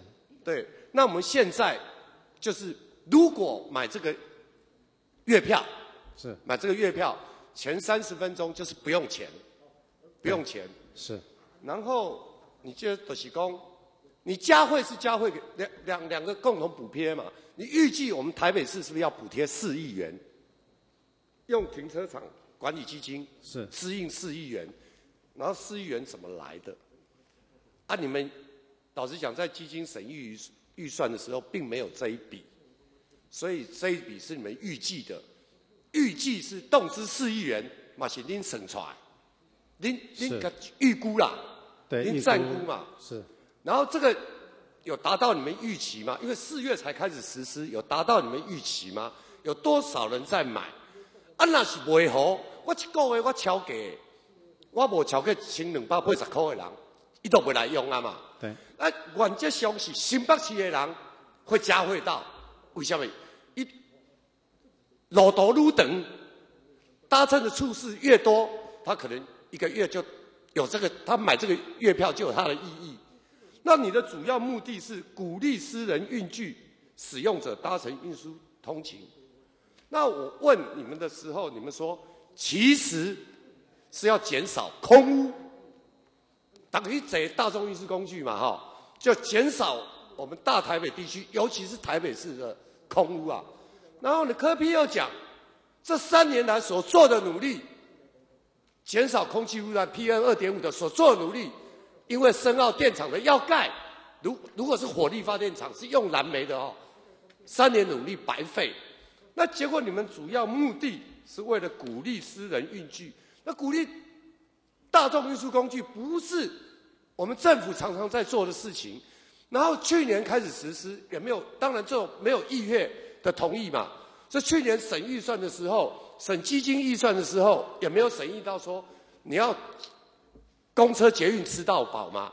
所以你今天告诉我说你要动用停车场基金补贴四亿元，台台北市的部分爱补贴四四亿啊，新北市爱补贴偌多？局长，一二八零吃到饱了哦，三十三十日里面全部超都不用钱。超过一二八零都不用钱嘛？是啊，我台北市的人，你想我一个月超过一二八零，新北市的人，比如说我我我住三甲，我要坐我两班公车坐到永宁站，永宁站坐捷运我坐到市府站，会好啊。结果因甲我讲我五点半出门，我两点半时间才到家，安尼会好袂？但是你今天用报告案来，因为你们已经实施了，好实施了，已经，然后效果也不知道，然后到底卖了多少定期票，到了一个月卖了多少定期票，因为在三十日内以后才才有用嘛。是啊，如果啊其他你就要用加值的嘛。对然后你这个又没有记名，就是讲我给你你用的过程当中，我为着可能我固定单我不会超过一二八零，如果超过一二八零我不会去用嘛。还有用信用卡的人，他自动储值他也不会去买嘛。所以说没有记名的是讲我用用的，诶、无够，我摕周伯雅用，周伯雅摕李庆峰用，迄张卡永远都可以一卡通行嘛。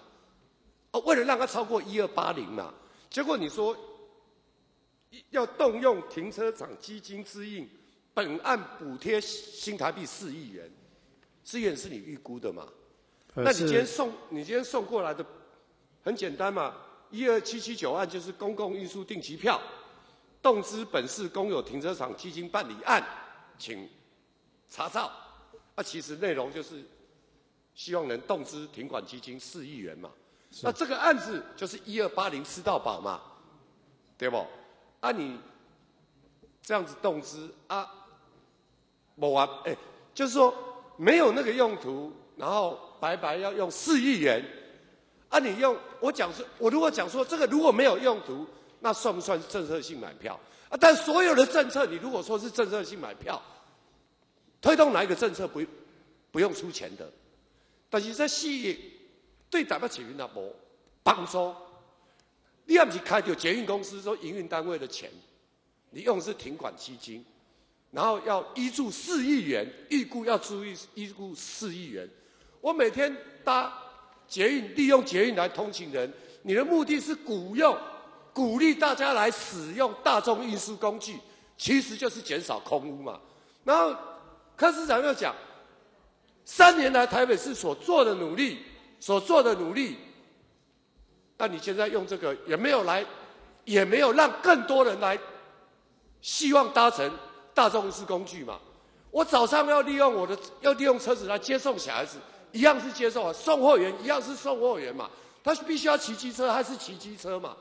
他并没有因为通勤你鼓励来搭乘公车跟捷运大众运输工具来享受到一二八零吃到饱这个政策，啊你无代无志要来偷这事业。用一个报告案，然后每居民就是一二八零吃到饱的政策。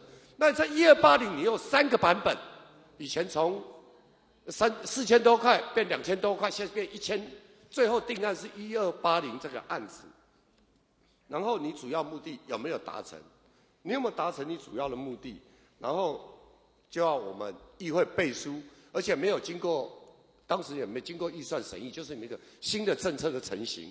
啊，最后就是要来要希望动资四亿元来补助这个政策，是不是这样？对的，我是不是也有们我们陈议员是讲的是没有错的，因为事实上这个不应该用被查报告案的，应该是属于同一案才对。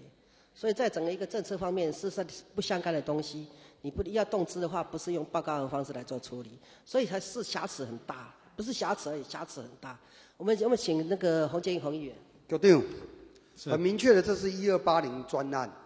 是，对不对？对。那我其实有点复印到我们陈议员的想法，你可不可以告诉我，你要动用这四亿这个基金的四亿，首先你要不要先回答我，基金的收入来源是哪里？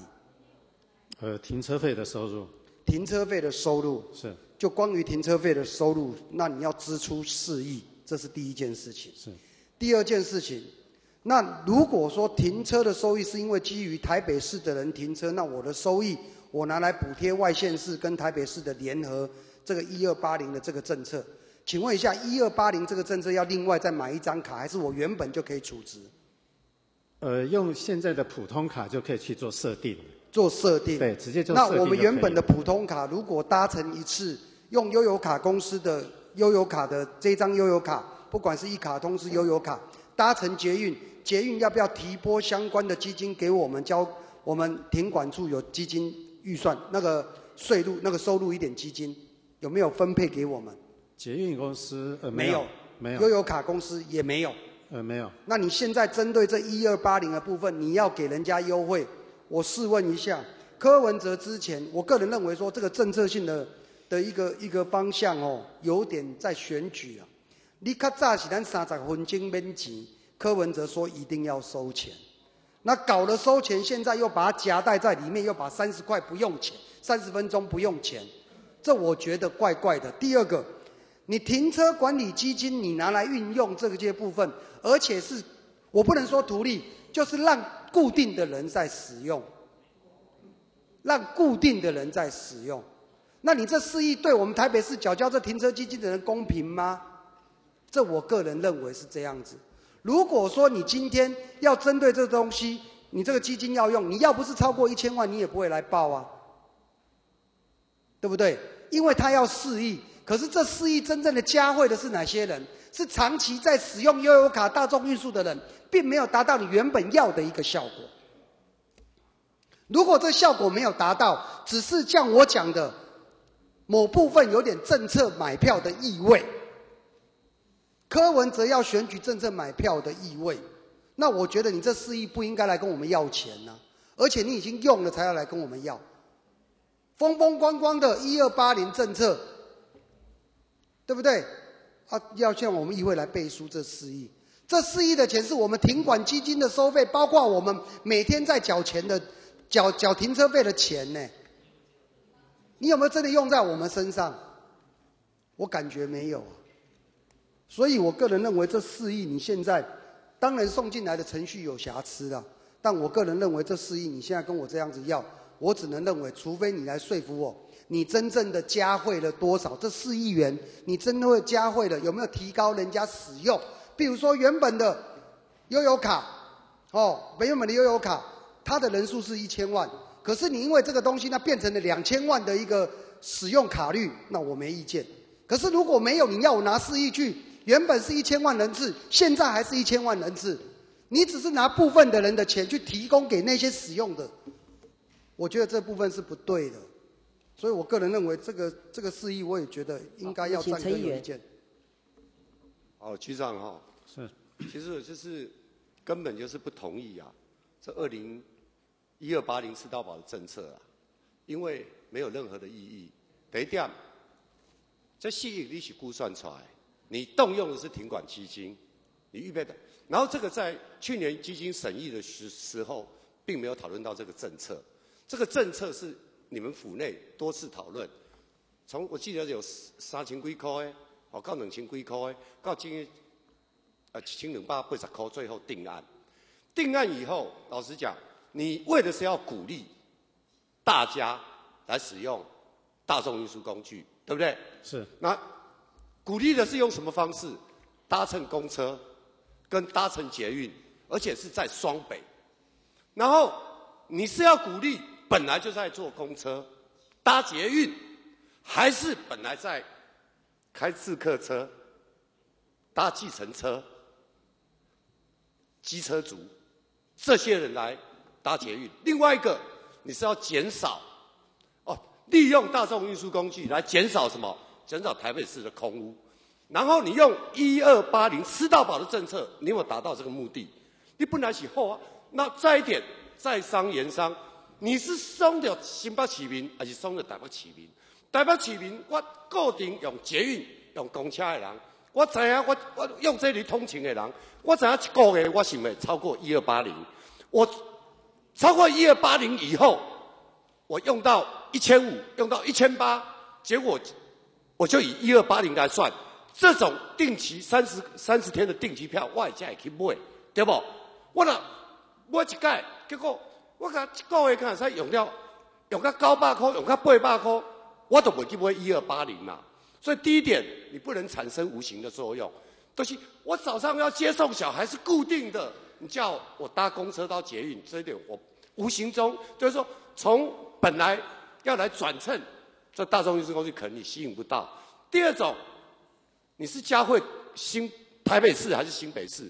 照理说，越远的人，我从三峡，我从哪里一直转车一再的转车，从大坑中换车，一直到台北到市府站，它比较便宜，他会买一二八零。最后不使用是因为结果他从那边到这边通勤要两个半小时、三个小时，他只好放弃，因为交通的时间太长。所以你的政策根本不成型，所以不同意。而，不同意的原因呢？你今天是用一个报告案，然后很简单的就是公车运输定期票要动资本市公有停车基金办理案，就预计动资的是四亿元，希望我们议会同意动资。然后我问你卖了多少张？因为四月才开始实施。然后你四亿怎么来的？四亿怎么来的？是我们台北市要补助动用停管基金要补助四亿，对不对？预计啊，扣零几够给买一二八零的这个定期票，我们可能那我问你，台北市跟我们一起实施，新北市新北市补助多少？请问多少？他们算出来，他们要补助多少？新北市一年要三点八亿，他是用什么也是预估的。对，那为什么嘉惠的都是新北市民？因等多诶，要瓦公车，两班车、三班车到我们台北市，啊，台北市在台北市 run 的，对不对？而且你是出站再出站算哦，这么多出站再出站算哦，在哪边进站在哪边进站算，对不对？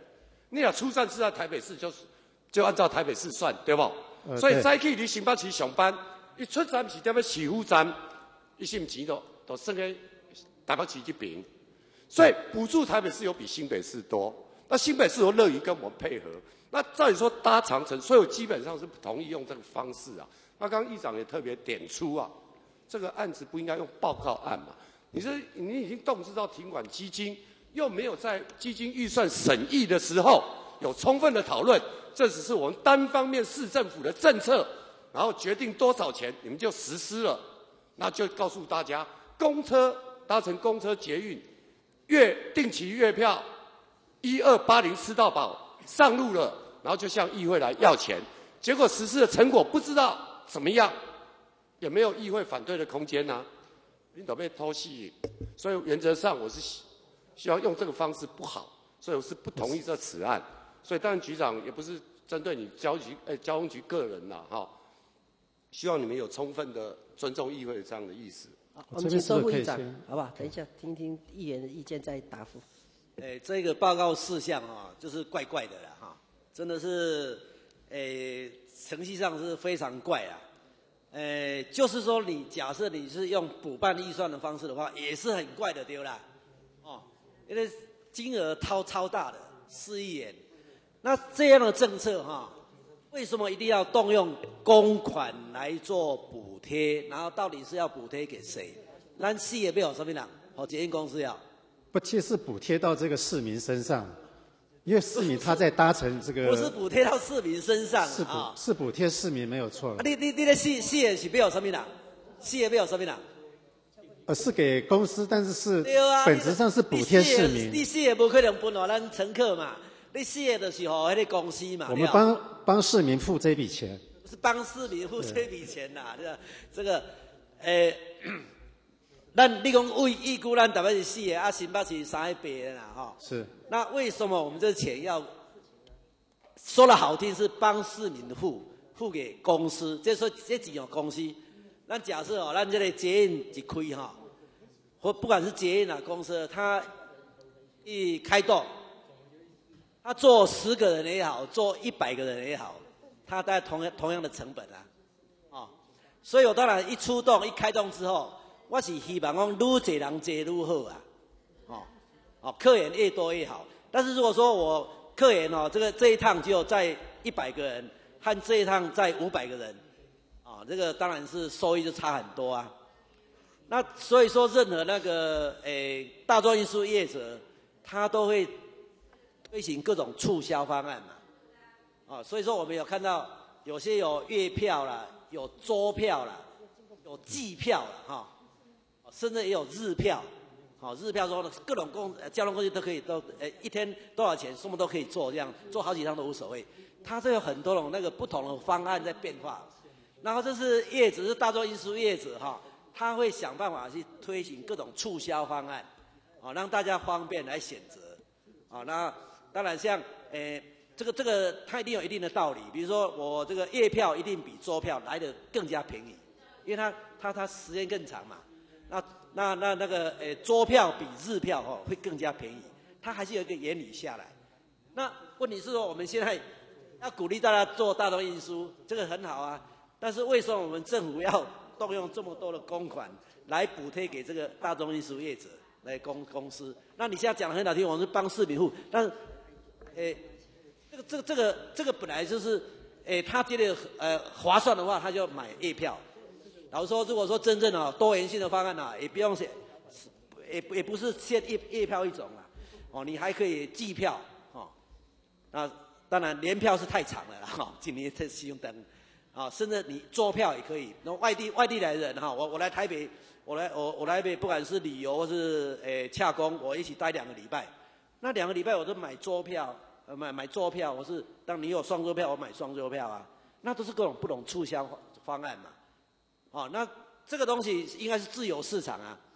哦，那他这样的话，他有促销方案，乘客就多，哦，他就不会，他他诶固定的成本开销，然后他这个使用者多，他就会多多多收益嘛。所以为什么我就搞不搞不清楚？为什么我们一定要用动用公款来帮忙付这么多的钱？哦，那这个这个这个本来这个整个政策的思考就是有点怪怪的。然后预算的编列的程序和报告的程序哈，也都是很奇怪。所以这个报告事项的话，叫我们议会就这样背书哈。这些老实说，这个也是很诶，我觉得我我我也想不出什么道理耶，哎。是，我这边呃。这样好不好，我们请李庆峰李议员。那议长，我因为刚刚很多议员问到，我就也算是会议询问哦。那秘书长你也在啊，那个局长，所以你这个报告案我们议会同意之后，就这个程序就完成了吗？你们不补办预算了吗？基金基金它不是用补办预算的，不是啊？这怎么可能？我们怎么可能这样同意你？你示意也不对啊！你保证就是示意吗？你这样的一张公文纸就是示意吗？呃，事业是预估的。没有，那预估预估起就把公狗一个啊。我们怎么同意你公文书写四亿，市长对外说五亿？我们四亿是因为我们今年从四月就扣掉前面三个月的时间来来算的。我是确认，如果这个就是报告案过吼，我想可能你可能要等于选况有啥物程序，我干嘛无法多安尼处理啦？一定敢会当安尼处理？事实上吼，我是认为我们可能以以后议会要做个补救条款。因为我们当初在审议今年审议预算的时候，曾经说事务如那局长请请回座好不好？是，请回座，因为不用报告内容。我们现在一些程序方面，我们还是要补充一下，请回座。我们说是否如需动用各种基金，我们每笔一千万以上就要告知本会。那时候就是我们花姐他们在基提款基金的部分方面都动用一千万、几千万英雄都不敢讲，用四千万。啊，那动二了五千万就要我们议会同意之。所以变成这个结果，我们认为说，你只要一千万以上，不要让他们回，总要回并告知。所以他们把这四亿的钱，就如同我们上次的附带决议的综合决议的方方面来做处理。这处理它是引用到有关于这个台北市的收费停车场基金保管自愿条例里面，促进捷运、公车、计程车相关的支出之后，他们动议这这笔钱。所以我认为这种东西啊。还是以后我们要做一个很确实的部分，要以同一案为之，而不能用报告案为之。以报告案为之，就丧失到我们真正的审议权，就丧失了我们审议权。所以我认为，有关于这个案子方面，我们可能自己要做一个内部的补救条款，这样保障我们议会在审议的审议的原则，好不好？我们请李议员。我我印象中，我们做的审议预算的那个综合决议啊，它其实是因为议员对于他们动之。至少没有智慧意愿，也没有智慧意愿议会的这个部分，啊，有意见，所以就加了这一段文字。可是基本上，议会对于预算的审议啊，基本上还是要回归到预算法的精神来。那你议员觉得你不够尊重议会，没有知会，没有告知，你用告知案来取代这个审议或者是同意哈？我觉得这个是这是较粗糙的粗糙淡薄啊。所以刚才向大会报告过嘛，有关于这个案子应该是以同一案为之。如果是用被查案为之方面，对我们审议权是一种伤害，是一种伤害。所以我认为这个部分我们来研究看看怎么去做，以后对于我们自己审议权不伤害的原则之下，我们再来做。所以先先行战歌好不好？我们我们请陈议员。我会询问哦，议长啊，如果报告案，他政策已经实施了嘛，细节呃，记得进去哈，推动啊嘛哈，啊起码开啊嘛。如果报告他用报告案的方式行之台北市议会，台北市议会报告案不予，好、就是不同意啊，不是不是同意案呐、知道不予备查，他钱可不可以继续动？啊，如果是同意案，我们不同意，他可不可以动？不可以动啊，不可以动啊。如果报告案呢？他们用了就用了。我们曾经有例子过。好，我们就是赞歌，好，比如说一赞歌，一用就用啊嘛。我不愿意，我我曾经我们啊，我还是啊那啊啊，不用出去的嘞。譬如说市市银行的案子就是这样，不同意还是用了，还是对了。对啊。我讲这句子叫啊，对，这是报，我是报告案嘛，他用报告啊。如果是同意案呢？同意案呢？像像那个市银行说，当初我们是他们也是用台北银行啊。台北银行啊，对对哦，他们用报告案进来，但是我们不同意，但是还是嫁给富邦了，对不对？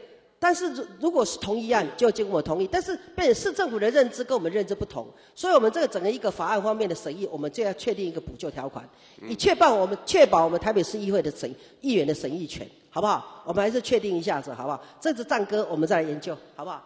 这一点方面，我们是是还是要很谨慎地去对待之啦，好不好？谢谢。好，战歌。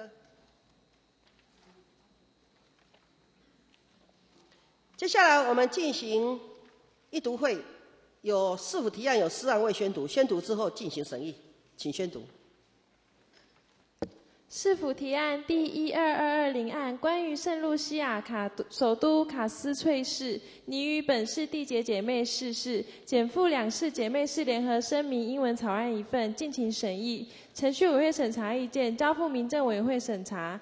第一二二二一案，本市北投区立龙段三小段五七之一地号是有土地，拟依土地法第二十五条规定完成处分程序后办理让售与符合出售条件之市地上私有建物所有权人，敬请查照审议。程序委员会审查意见交付财政建设委员会审查。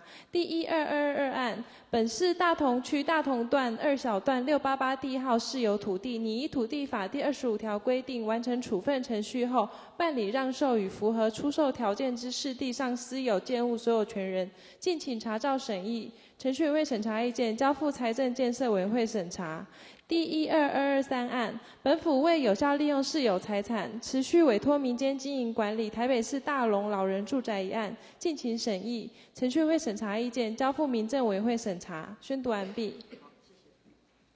请各位同仁翻开有关于我们一读会的市府提案资料，编号二二零案，有没有意见？好，那我们请那个立耿议员。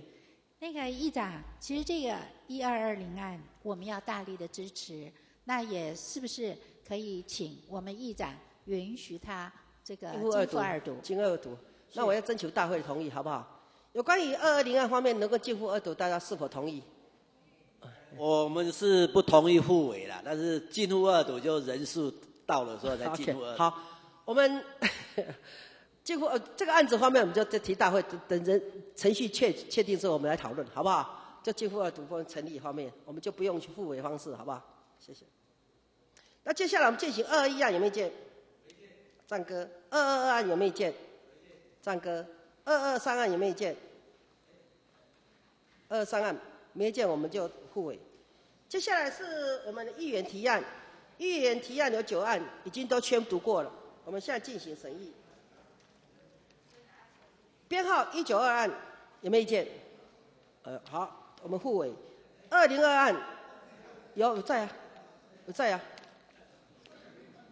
二零二案，呃，战歌。二零三案，战歌。二零四案，战歌。二零五案，复委。二零六案，复委。二二一案，复委。二二四案，战歌。二三六案，复委。好，谢谢。接下来我们进行法规的审议。法规的部分已经都宣读了，我们现在进行有关于《市有房地处理自治条例》第二十条的条文，编号二一二一七四案，有没有意见？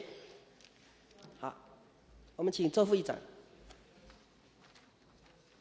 诶，主席各位同仁，这个案子啊，这个，诶，基本上说早就应该废止了啦，早就应该废止，时间拖太久了哈。那所以说我们这个这个案子可以等于是，诶妥协性的哈，可以接受说赶快完成复委，不赶快完成这个这这这个这个我们大大会的审议程序。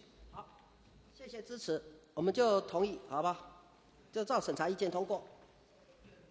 接下来我们进行有关于台北市实施平均地权基金收支保管及运用自治条例第二条及第四条条文的修正，编号一二一六八。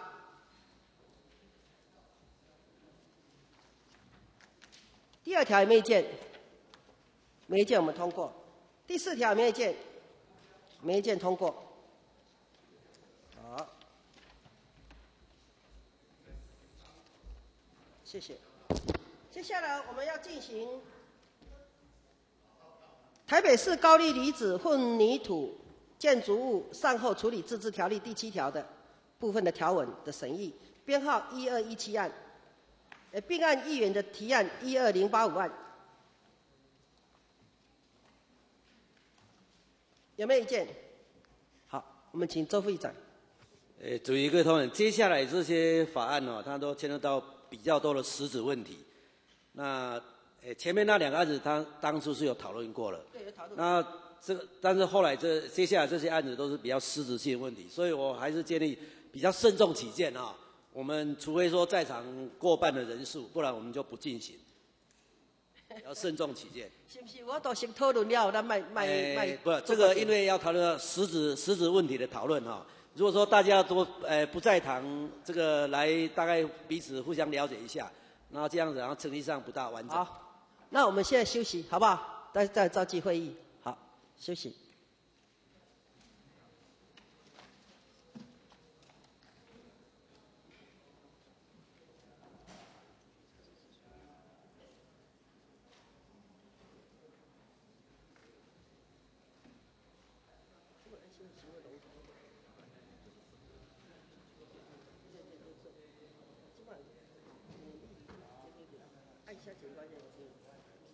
所谓重大政策，重大简单重大政策，你认为它不是重大政策，对不对？所以应该很，嗯。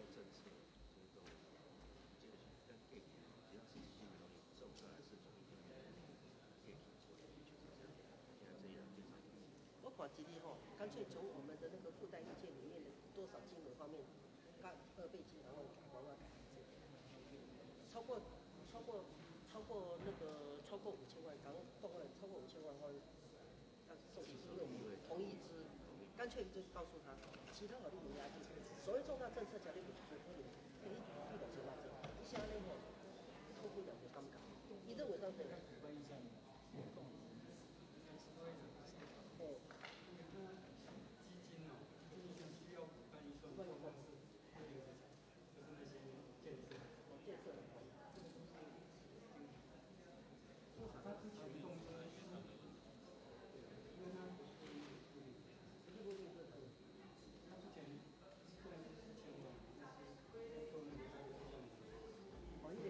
智慧化系统。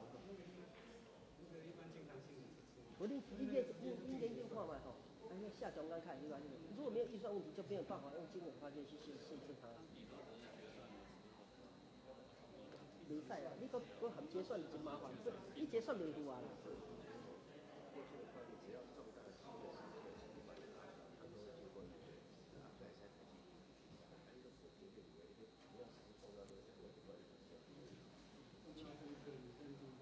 重大政策就是。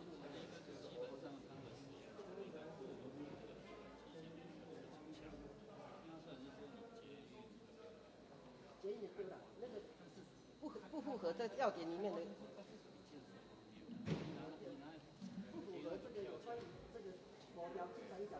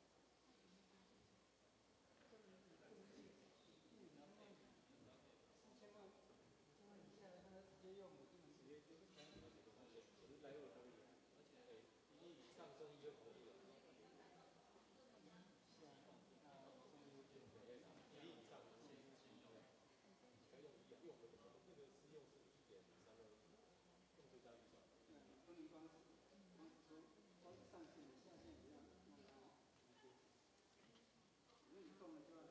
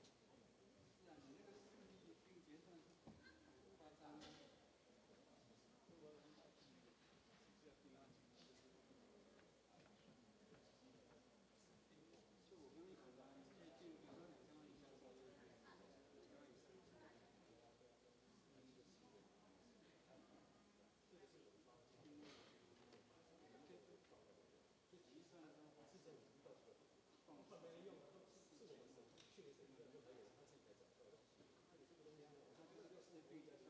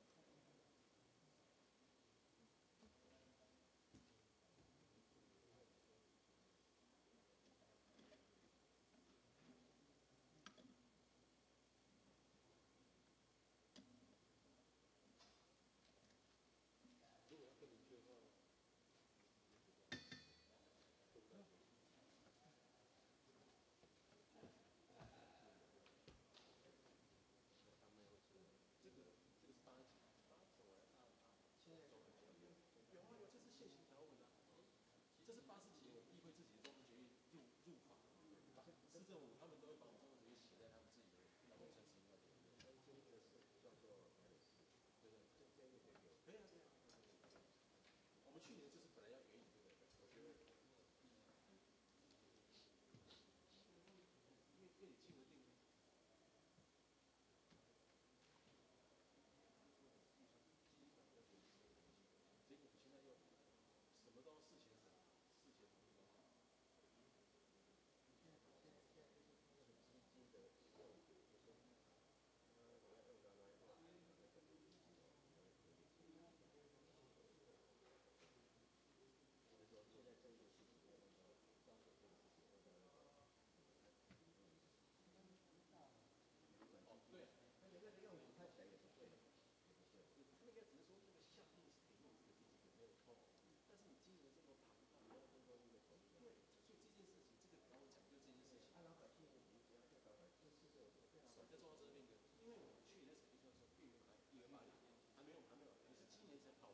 这个就是中超政。我是用补助比例多多已经叫中央政策变，你私益多什么不叫中央政策变？我都还意义都还我还不会这个还跑中央预算，还是搞来报告了？这个多不是更多？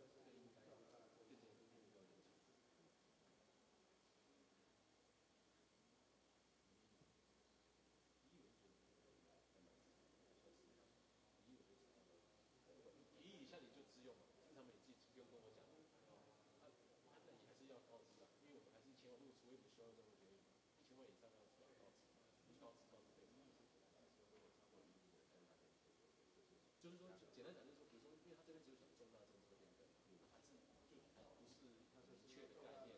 比如说，把这个改成金额，因金额在一亿。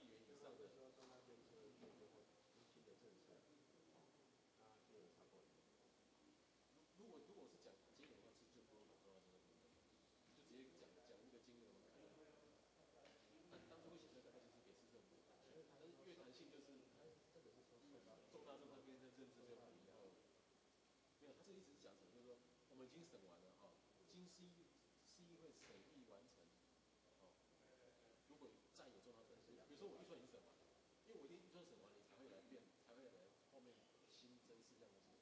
我预算审完了，你后来才跟我说要增加基金的那个支出，你就要重大争议，我要做议会，一定是预算审。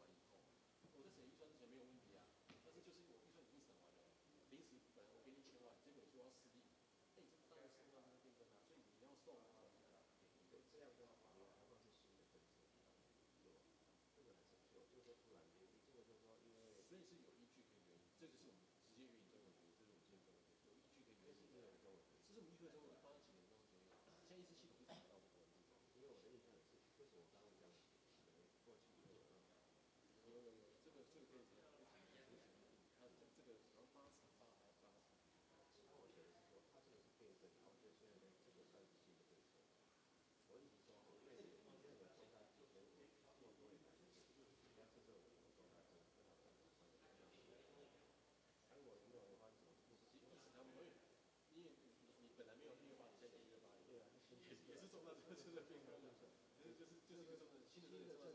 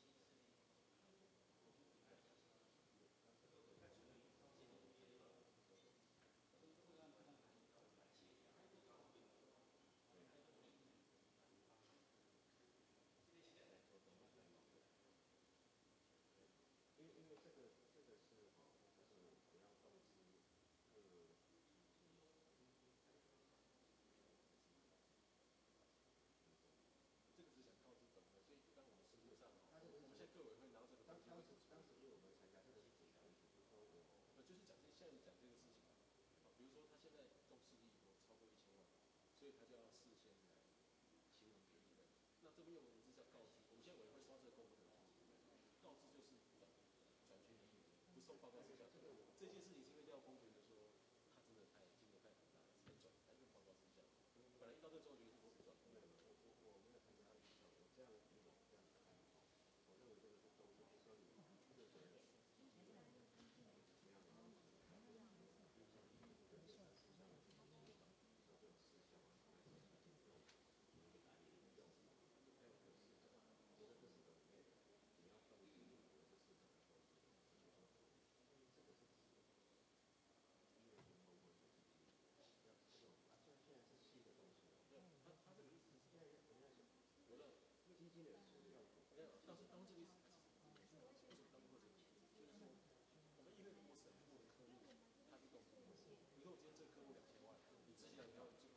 从业务审核，他这边其实主要是讲，就是说议会没有审核道理，他从基金里面直接动资。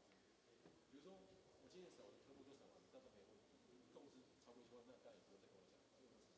现在重点是余额，因为每个基金都有余额，都存款，别人也会存款。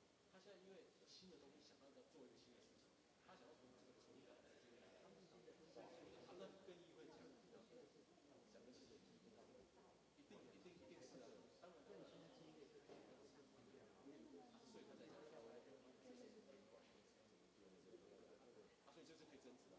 他这笔钱是有，这是最最先决要件的。你如果连这笔钱都是不符合那个收支保管的资质条例的话，那但连用途不符合，当然不能对，这个在我这边，这个就是说你要。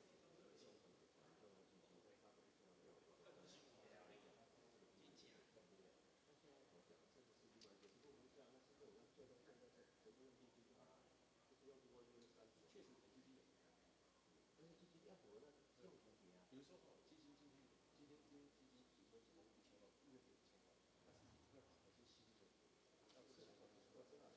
하트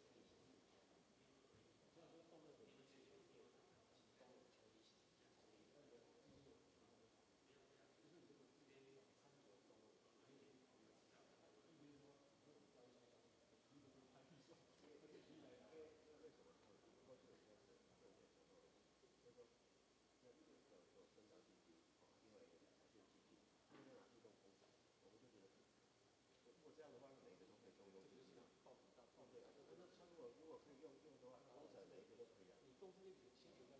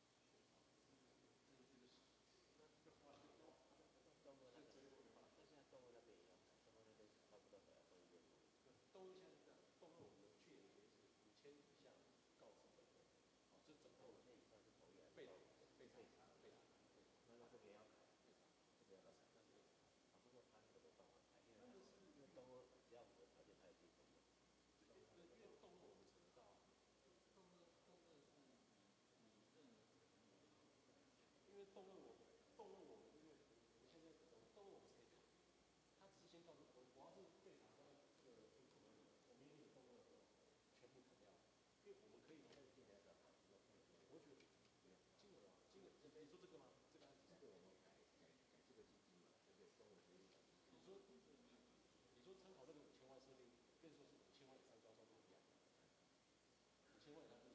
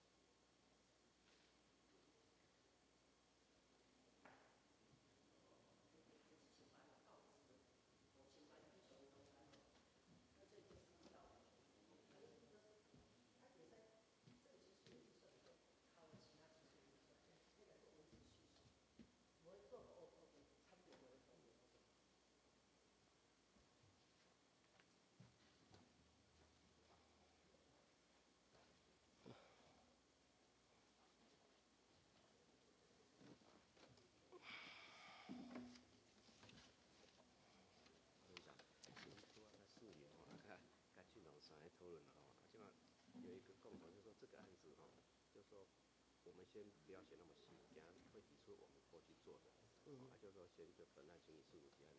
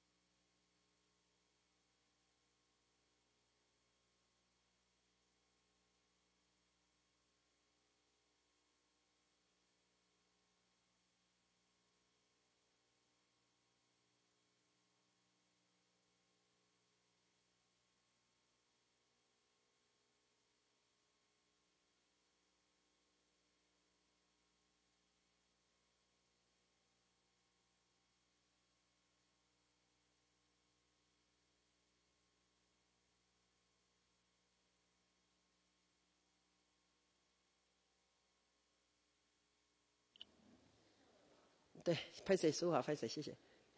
我们向大会报告，有关于我们今天的会议可能没办法再继续召集，那我们现在散会，大家辛苦了，谢谢。